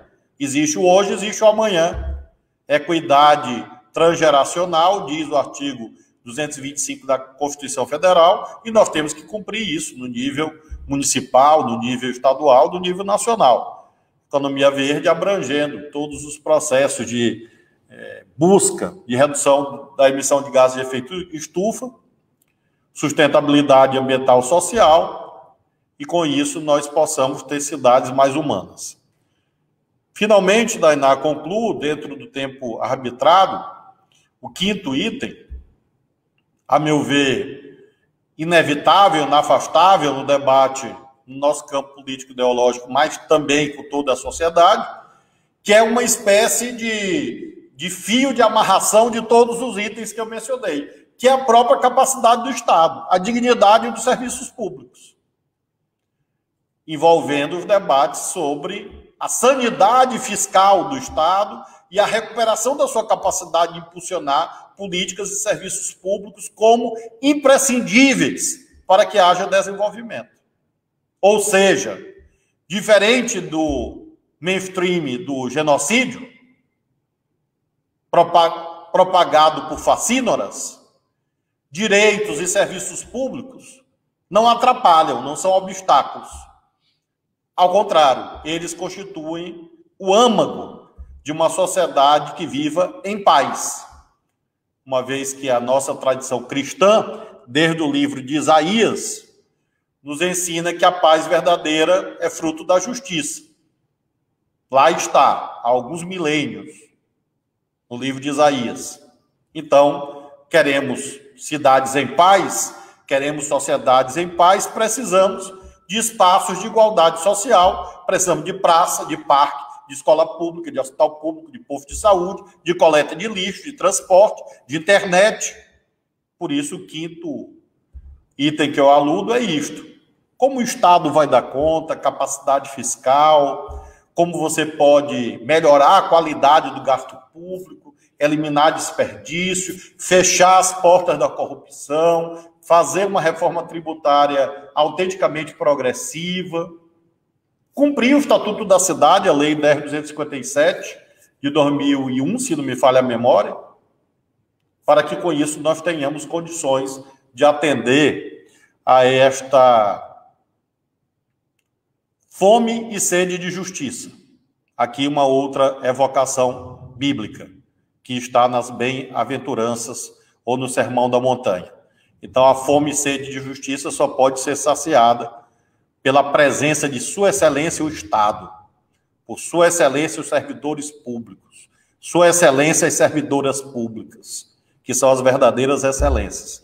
Eu sou servidor público há 32 anos, é o que eu fiz a vida inteira e por isso mesmo considero que esse é um debate fundamental para que nós possamos atender a outros objetivos. Tainá, muito obrigado.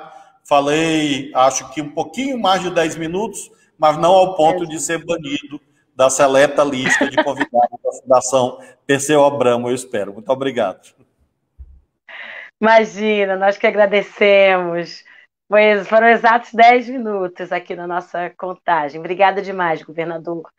Agora, é, antes de chamar os nossos convidados para fazer o nosso circuito rápido de perguntas, quero reforçar o agradecimento em nome da Fundação Perseu Abramo.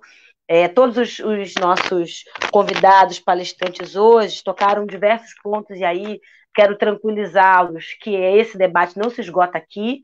Nós temos ainda uh, seis encontros escalados aqui é, até é, o final do mês de junho.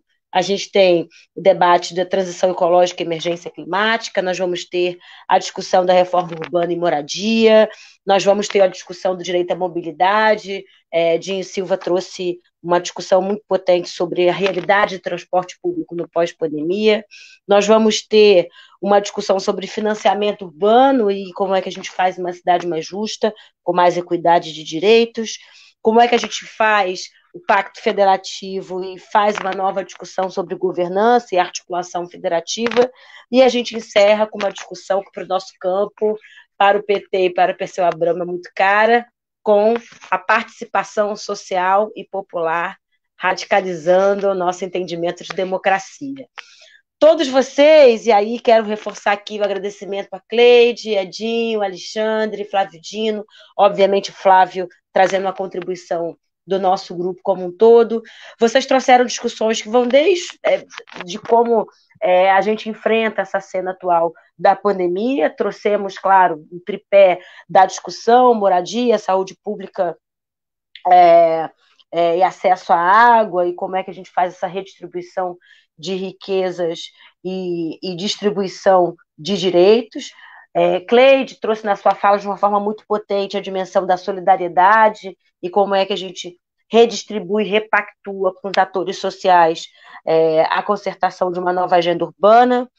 É, Edinho trouxe uma dimensão é, inovadora sobre a ampliação da previdência social e como é que a gente começa a enfrentar com uma agenda mais potente, à luz, claro, da agenda reformista, da agenda grupista, como é que a gente fortalece o entendimento da dimensão do trabalho, entendendo a precarização, a uberização e as novas formas do trabalho, os trabalhos, é, a nova forma de trabalho que emerge no contexto da pandemia e a forma de trabalho que diminui e que uh, é, é isolada nesse contexto também pandêmico.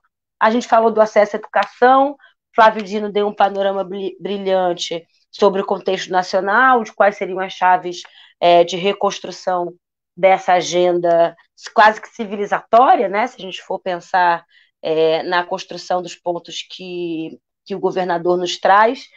E acho que a gente encerra aqui, na verdade, não encerrando esse ponto chave, mas trazendo, é, não, não findando os desdobramentos, mas aumentando os desdobramentos da reflexão que se faz necessária a partir de agora.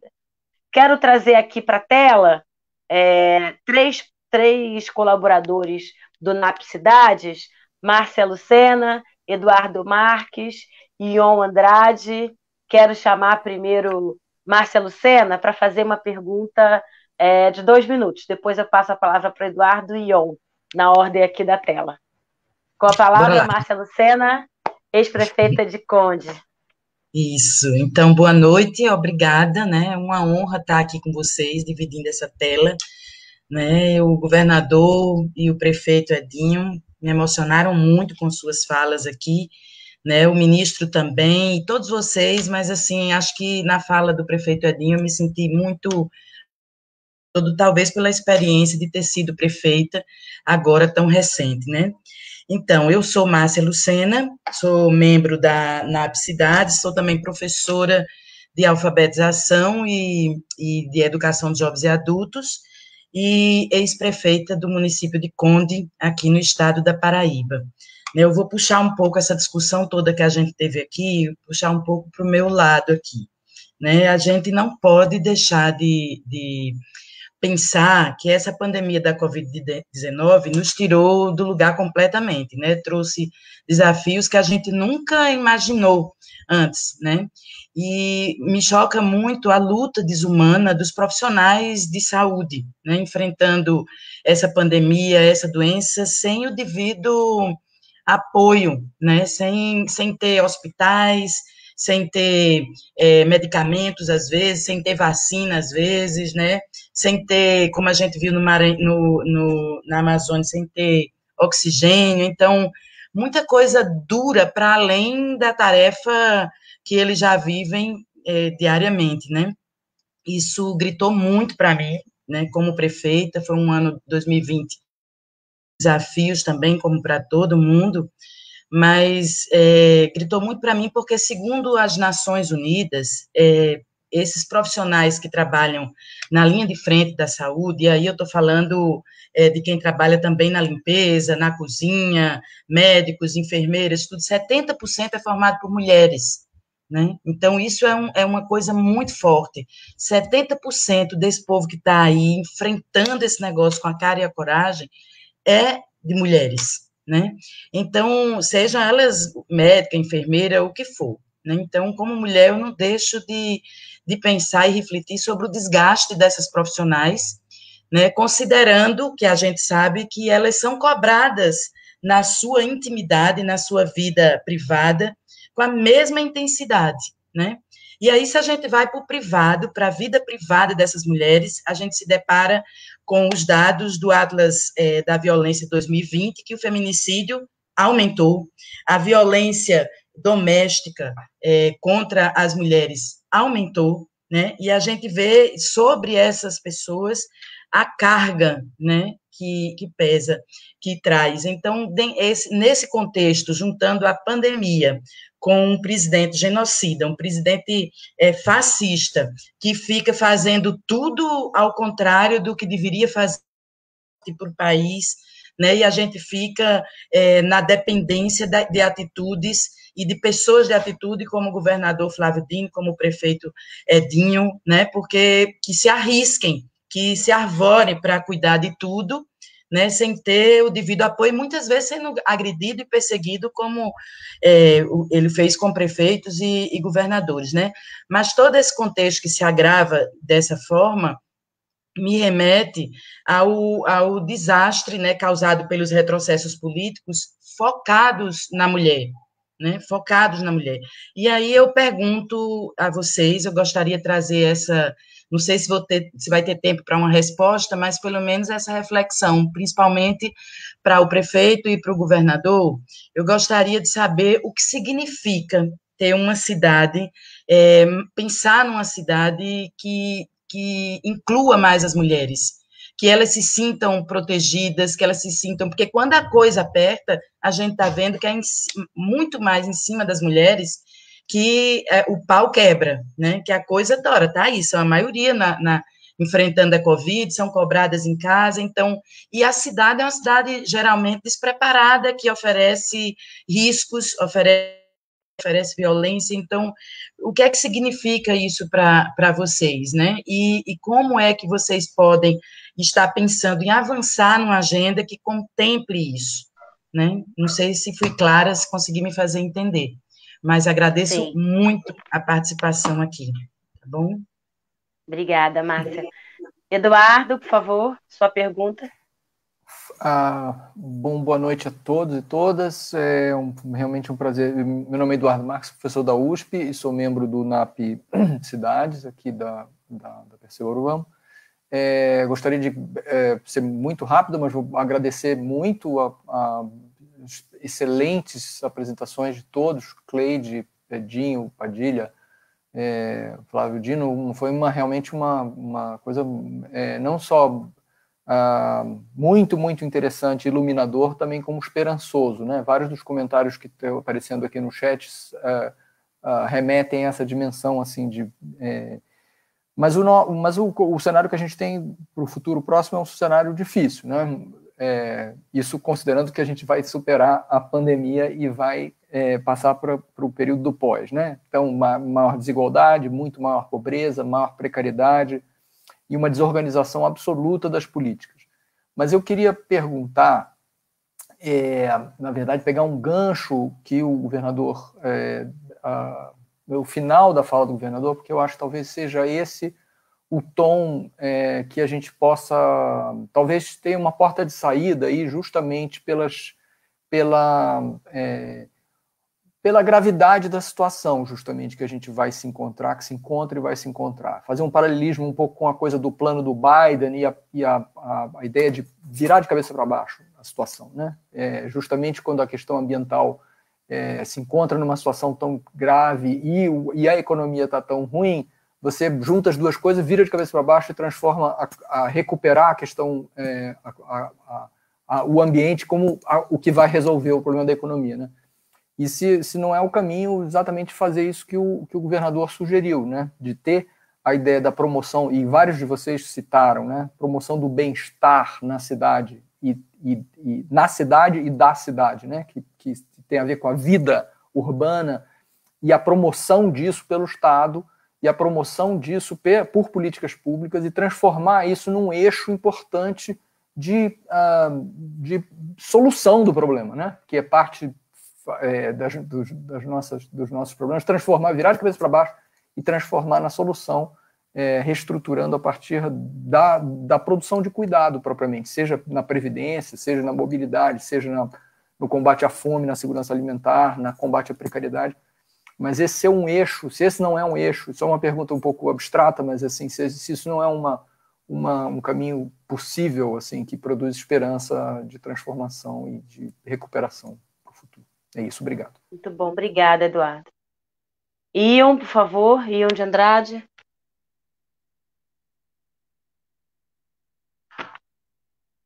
Seu microfone, Ion. Você está sem tá microfone, Ion. Ion, viu, Tainá? Foi. Sim. É, é, bom, eu sou Ion de Andrade, eu sou médico, epidemiologista, sou professor da recém-criada Escola de Saúde Pública aqui do Rio Grande do Norte, pela é, nossa governadora Fátima Bezerra e pelo secretário de Saúde Cipriano Maia. É uma grande aquisição para o Estado. É, queria saudar a todos é, na figura das nossas três representantes femininas, né? Márcia, Tainá e Antônia Cleide. É, dizer que é uma honra para mim estar presente aqui. E eu queria fazer uma pergunta contextualizando esse nosso momento é, em relação a um outro momento muito parecido que nós tivemos na história do Brasil, que foi aquele enfrentado pela durante a, a gripe espanhola, a epidemia de gripe espanhola. Então, o que é que nós tínhamos ali? Um cenário muito parecido com o nosso. Vamos pegar aquela década, né? Aquela é a década do, da revolta da chibata, né? É a década do condestado, mas é também a década da criação da fundação do Instituto Oswaldo Cruz, né? É, é, é por aqueles anos, né? Posterior à, à gripe espanhola de 1918, a criação do do PCdoB, que é o primeiro é, partido de esquerda é, da nossa história. Portanto, um momento é, muito cheio de antagonismos, né? Onde algumas propostas de que iriam se desdobrar ao longo do século começavam a surgir ali. Vamos pensar na, na Fundação Oswaldo Cruz, tem uma relevância extraordinária, nasceu naqueles anos, né? Mas aquele é essencialmente um Brasil rural. E é, entre lá e cá, né, entre esse, esse momento aí da, da gripe espanhola e os, os, o fim do século XX, a gente tem alguma coisa que faz a ponte aí, que é aquela, aquele quadro de Portinari, é o menino morto, e aquele menino morto ele está é, tá morto de diarreia, ele é um menino desidratado na, na mão daquela, daquela família de retirantes, é, mas o século XX ele se, ele se fecha com uma grande vitória popular. Portanto, a gente, esse, esse, esse momento de imensas dificuldades, né, desse nascedor aí do século XX, ele se encerra com a Constituinte, né, é, ele se encerra com o Sistema Único de Saúde, é, ele se encerra com a, a criação do primeiro partido de, de massas da esquerda no Brasil, na, na, no PT, Portanto, é, diria assim que nessa partida jogada século, durante o século XX, as forças populares, embora é, organizadas num país rural, elas, elas saem com vantagem, elas, elas viram uma página. E é, a evolução, muitas vezes, ela acontece de uma maneira em espiral. Né? Então, que, que, qual é o Brasil de hoje? Né? Um Brasil que, de alguma maneira, se parece muito com aquele, aquele país do início do século XX. E o que é que ilustra isso? Né? A prisão de Lula, é, o massacre de Jacarezinho, mas também o de Eldorado de Carajás, que não está muito longe do ponto de vista histórico. Né? Portanto, continuamos com uma identidade muito forte em torno desse Brasil atrasado, né? É, de cores fascistas, mesmo antes do fascismo. Né? Mas esse Brasil de hoje, ele tem, é, ao mesmo tempo, experiências exitosas, como a Cleide colocou para nós, né? como traz o, é, o, o, Estado do Maranhão, que é o campeão nacional do ponto de vista da, do pequeno número de, de óbitos por, por 100 mil habitantes, é o Estado que, que tem, estatisticamente, os melhores resultados do ponto de vista é, da, do enfrentamento da Covid, matematicamente falando, estatisticamente falando. Temos a experiência de Araraquara, que é notável do ponto de vista do controle dos óbitos. Portanto, temos também, tanto quanto naquele período passado, esse cenário em que coisas importantes estão acontecendo. Então, o que é que eu diria assim: outro dia eu li um artigo que dizia que o SUS nasceu desse diálogo entre o campanhismo de Oswaldo Cruz e a gripe espanhola, que ali começaram a surgir as sementes do SUS. Então, o que é que eu queria é, colocar é, como pergunta aqui? É, de que forma vocês entendem que a gente poderia é, aproveitar essa grande força gravitacional, esse acúmulo de infelicidades produzidos pela pandemia, para construir no arco do curto, do curto prazo, que são os planos de governo, no arco do, do curto prazo, as portas de saída, eu acho que uma parte da, dessa discussão é, já foi colocada aqui pelo governador Flávio Dino e também por Edinho Silva, a importância estratégica da, da internet, por exemplo, das novas tecnologias, mas como é, é, criar sinergia é, das ações do arco de curto prazo, que são as ações dos projetos de governo, com o arco de longo prazo, que eu acho que é o sonho de todos, todos nós, da construção de uma sociedade mais justa que possa ser alavancada por essa, esse momento de infelicidade em que nós estamos mergulhados. Muito bom, queridos, caros participantes do NAP. Quero, na verdade, pedir, para além das respostas a todas as questões, reforçar já que os nossos colaboradores aqui convidados façam já suas considerações finais. Vou pedir que a gente consiga é, fazer a resposta, os encaminhamentos finais, os até breves e até logos. No máximo, no máximo, vamos ficar entre cinco é, minutos, estourando seis. E aí eu vou nessa última rodada fazer um combinado aqui de que eu vou ser a chata e vou falar para a gente é, concluir. Vou interromper, avisar é, que já passaram os cinco minutos para pedir a conclusão. Quero reforçar o agradecimento, claro, antes de vocês passarem aqui a rodada final, e reforçar que nós teremos, claro, uma série de outros debates nesse projeto de reconstrução do país. Vamos no, no pela ordem.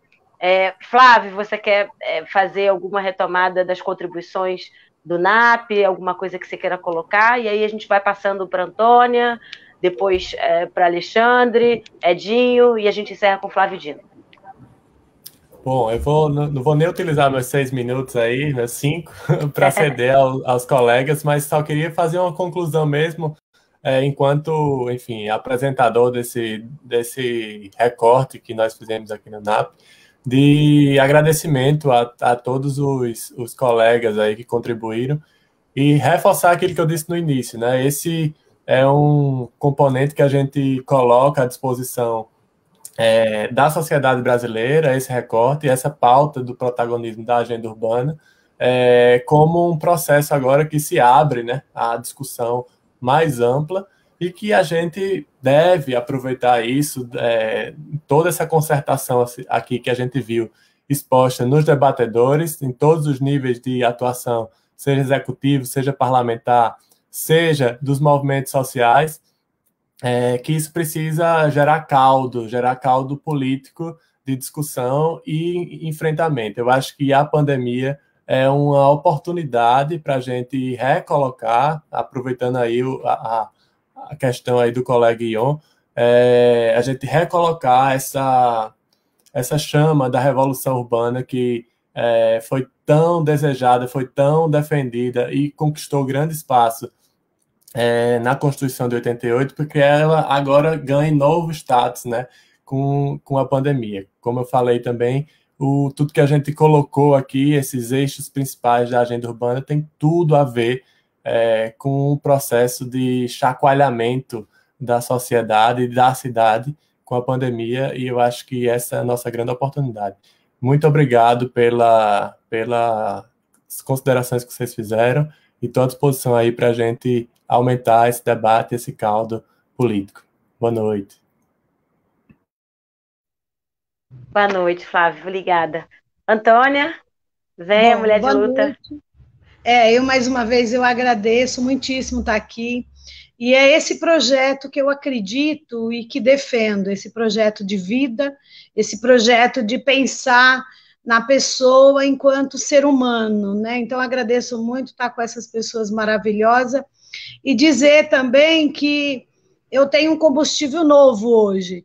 Para continuar na luta, continuar fazendo aquela minha parte de conscientização e a gente poder resistir e sonhar e lutar, né? Lutar sempre por esse projeto de inclusão, né, do ser humano. Muito obrigada mesmo. Eu saio daqui muito feliz, muito feliz mesmo. E com mais vontade de lutar, viu?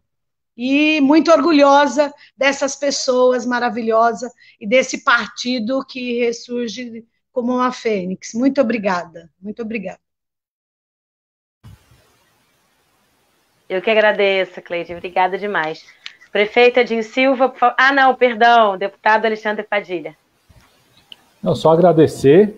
É, na, na, mesma linha que a Cleide, eu saio também com combustível novo, né? Um gás de cozinha novo e barato, né? Não, não no preço do Bolsonaro. É, e esse combustível, para mim, é, é, é, ver líderes né, como Edinho, como Flávio, pessoas que eu gosto há, há muitos anos, é, estarem assumindo uma posição de liderança dos seus territórios e, e tendo uma repercussão nacional da sua atuação. E, e, dessa atuação de base comunitária que a Cleide representa, e eu acho que uma das grandes conquistas que nós vamos ter nesse processo de superação permanente da pandemia, é também a geração de novas redes de solidariedade, novas lideranças comunitárias, e, e a UNAS aqui em Heliópolis representa muito bem isso. Né? E acho que as reflexões todas trazidas aqui é um combustível novo, porque eu acho que é, traz para nós dois grandes desafios. Né? Um é entender a pandemia como sindemia. Né? A pandemia não é só um fenômeno sanitário, fenômeno econômico, social, cultural, político. Isso se exacerba no contexto brasileiro, é, por conta da postura do Bolsonaro e, ao mesmo tempo, da nossa necessidade de resistência, de construir uma resposta que seja diferente. E, e a nossa a Luciana aqui trouxe, trouxe um, um, um, debate interessante com esse tema do gênero. Né? As mulheres são as mais afetadas na pandemia. Né? São a maioria dos profissionais de saúde, a maioria dos profissionais da assistência social, são a grande maioria dos empregos é, que foram perdidos né? ou interrompidos, como os empregos domésticos, setor do comércio, né? É, sofrem com a jornada tripla, quádrupla, sofrem com com a violência doméstica, né, com o aumento do feminicídio, e sofrem absurdamente com o, o discurso e a narrativa política do bolsonarismo, né, o que ele significa de agressão às mulheres. Então, não tenho dúvida nenhuma que um dos eixos é, da superação da pandemia, a pandemia não acaba, a gente tem que superá-la. Né? É, vamos superando dia a dia. Um dos eixos é, é, sobre a organização das cidades, é o debate de gênero. Né? Então, acho que essa é uma questão central para mim. Encarar a pandemia como uma sindemia, um fenômeno que não é só um fenômeno sanitário. E a segunda questão central é se a gente vai assumir o tema da cidade, né, o tema da, da, da, dessa revolução urbana necessária como um tema central do projeto que os partidos progressistas, que o campo progressista quer apresentar para o país como um projeto que não é um projeto de governo, é uma agenda política de superação dessa pandemia ao longo dos próximos anos. Não acho que tem que ser o século inteiro, como o Ian provocou aqui o debate, né? mas é, é, dos próximos anos. Né? É, é, é para além de um programa de governo, viu, viu Edu? Então, acho que é para além daquilo que o Biden apresenta como programa, né? é para além das nossas experiências enquanto programa de governo. Né? Essa revolução das cidades não vai acontecer apenas por um programa habitacional como o PAC, por um programa de investimento em transporte e mobilidade urbana como o PAC, como um programa de saneamento como foi o PAC, é, é para além disso, né? é um programa político que tem que ser assumido pelos partidos progressistas, pelo campo progressista de revolução é, urbana dessas cidades, é, promovendo a cultura da paz, o bem viver, a qualidade de vida, a defesa da vida, né? como tão bem disse o Edinho, e o Flávio aqui, é, mas que envolve, inclusive, a gente repensar o processo de gestão dessa realidade metropolitana, da relação entre o governo federal, estadual municipal e a sociedade civil. Então, eu acho que sai daqui um compromisso, né? Eu acho que eu vi que vão ter uma sequência de debates, então um compromisso de que a cidade será um objeto num programa de um conjunto de forças progressistas para o próximo período. É, porque não necessariamente ela não foi, né? a cidade como um todo não necessariamente foi, ela foi é, nas primeiras experiências municipais, dos chamados modo petista ou os partidos progressistas de governar, é, mas durante os nossos governos é, federais, é, eu tenho muito orgulho dos governos do qual participei, mas foram objeto foram programas específicos de habitação, de saneamento, de investimento, redução da desigualdade, aumento da renda, educação, a grande evolução que nós fizemos no país, mas não a cidade como um todo sendo um objeto, eu acho que não tem essa necessidade de assumi-la como objeto central para o pro processo de transformação que a gente quer fazer no país, de superação permanente da pandemia. Né? A pandemia não acaba, a gente que a supera. A sindemia não acaba, não tem data para acabar a sindemia, a gente que tem que superá-la. Né? Então, agradecer muito, um abraço a vocês.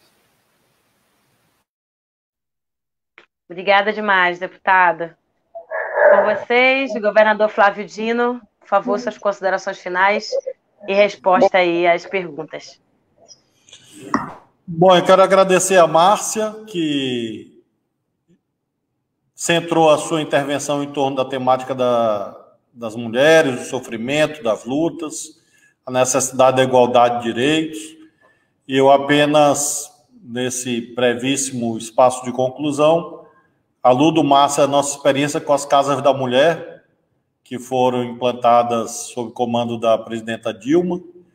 Nós temos uma das poucas casas da mulher funcionando aqui em São Luís, poucas do Brasil, e estendemos com recursos próprios para a cidade Imperatriz. Vamos agora fazer na cidade de Timon, são cidades grandes aqui do Maranhão, polarizam regiões, e são experiências muito vitoriosas de referência de combate à violência, de atendimento às mulheres, promoção de projetos, de capacitação produtiva, é, de integração de várias instituições, sociedade civil, Patrulha Maria da Penha, é, é, departamento específico na Polícia Civil de combate ao feminicídio, são experiências assim muito muito exitosas. O Eduardo aludiu à temática da economia verde, do bem viver, temos que centrar nossa reflexão no chamado Green Deal. Acho que o debate internacional inaugurado com na eleição do Reino Unido,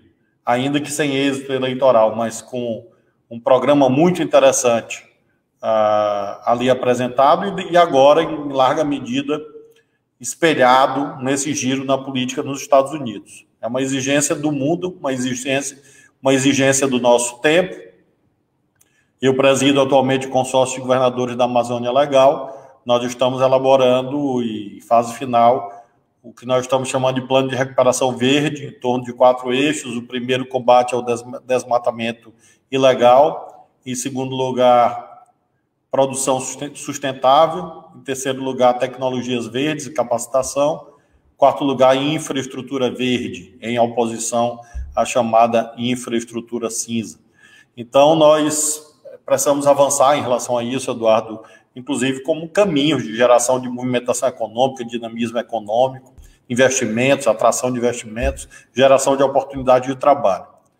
É, além, evidentemente, do que isso representa em termos de disputas quanto a modelos de funcionamento da sociedade. E, finalmente, o Ion ah, ah, falou do, de como articular o aqui o agora com o amanhã. É, isso é inevitável essa ligação histórica entre a dimensão estratégica e tática, mas creio, Ion, que em conjunturas como essa, nós, nós devemos nos dedicar muito uh, ao aqui e agora. Acho que o peso do curto prazo é muito grande, porque as premências da população são gigantescas. E creio que quem dialogar melhor, quem se comunicar melhor em relação a um plano tático, um programa de governo, terá mais êxito no ciclo de acumulação. Evidentemente, sempre articulando isso com a dimensão que dá sabor à vida, que é a dimensão do sonho, da utopia. Todos nós vivemos por conta dessa nossa capacidade de conjugar imanência e transcendência. Então é juntar imanência e transcendência, o que se vê com aquilo que não se vê. ou que não se vê ainda, ou que jamais se verá. Mas é, creio que nesse momento é, nós temos que nos dedicar a como conversar com a população, enfrentar os seus medos, as suas dificuldades e articular um programa compreensível. É, você mesmo, Ian, fez alusão a vários momentos históricos. Eu é, penso muito nas teses de Abril, escritas por Vladimir Lenin, Paz, Pão, Terra. Eu acho que é mais ou menos por aí que nós temos que, que refletir. Ou seja, um programa prático, de intervenção concreta, transformadora e, portanto, com eficácia e capaz de, de aglutinar pessoas, quebrar preconceitos, ter pluralidade, ter abertura, é, não estreitar o nosso campo político pra, para que com isso possamos inaugurar um novo ciclo. O ciclo de 2002 cumpriu o seu papel. O ciclo das lutas sindicais de 70, ou das lutas dos trabalhadores do sindicalismo liderado pelos trabalhistas e pelos comunistas nos anos 50, ou pela Aliança Nacional Libertadora em 1935. Ou seja, são momentos, todos nós devemos homenageá-los, aprender com eles, mas são momentos diferentes. 20 anos depois de 2002, nós precisamos de um programa atualizado, que coloque novas questões, fale para, o futuro, tenha flexibilidade e abertura para que, com isso, nós possamos ter um novo ciclo, novo ciclo de transformações de acúmulo de forças. Eu agradeço muito a gentileza do convite, agradecer a você, Tainá, muito obrigado, Antônia, Flávio Tavares, meu xará. Eu, de vez em quando, Edinho, quando eu estou lendo aqui Twitter, que eu, da rede social, e eu leio assim, Flávio fez isso. Aí eu digo, meu Deus, o que foi que eu fiz? Aí quando é coisa errada, eu já sei que é o outro Flávio, que é o filho do. deve ser dito. Então eu fico muito contente, Flávio, de, de nosso grupo, nosso time está bem representado aqui por você. Quando a Tainá falou o Flávio, eu digo, meu Deus, que foi? Aí eu vi que tinha um outro Flávio aqui. Nós estamos bem aqui, viu, Flávio? Em contingencial, é, maioria aqui. Então é uma alegria poder ter aprendido com vocês, agradecer de novamente a Perseu Abramo, a vocês três que estão no comando da atividade, agradecer novamente ao meu amigo Padilha, Edinho, uma alegria vê-los. Um abraço a todos e todas. Força, fé e esperança. Valeu. Muita esperança, dias melhores. Precisamos deixar o pessimismo para dias melhores. Obrigada demais a todos e todas que participaram aqui do nosso debate, falar que essa discussão vai ficar gravada aqui nos nossos canais, peço que compartilhem assim que possível. Falar que esse não é o único ciclo, já mencionei aqui os diversos debates que a Perseu Abramo com Cidades está é, mediando e construindo. Nosso documento segue aberto, qualquer reflexão, qualquer contribuição para vocês que estão nos acompanhando, para vocês que participaram desse debate hoje, por favor, nos enviem, porque esse processo de reconstrução do Brasil é contínuo, é árduo e é extenso. Obrigada demais, feliz demais de conseguir mediar esta altura desse debate. Desculpa pelos atropelos todos aqui da nossa condição, mas tenho certeza que esse conteúdo é inegociavelmente poderoso. Vamos com certeza estabelecer aí nos próximos meses uma agenda potente para o Brasil. Obrigada a todos e todas. Até para quem é de até, axé para quem é de axé.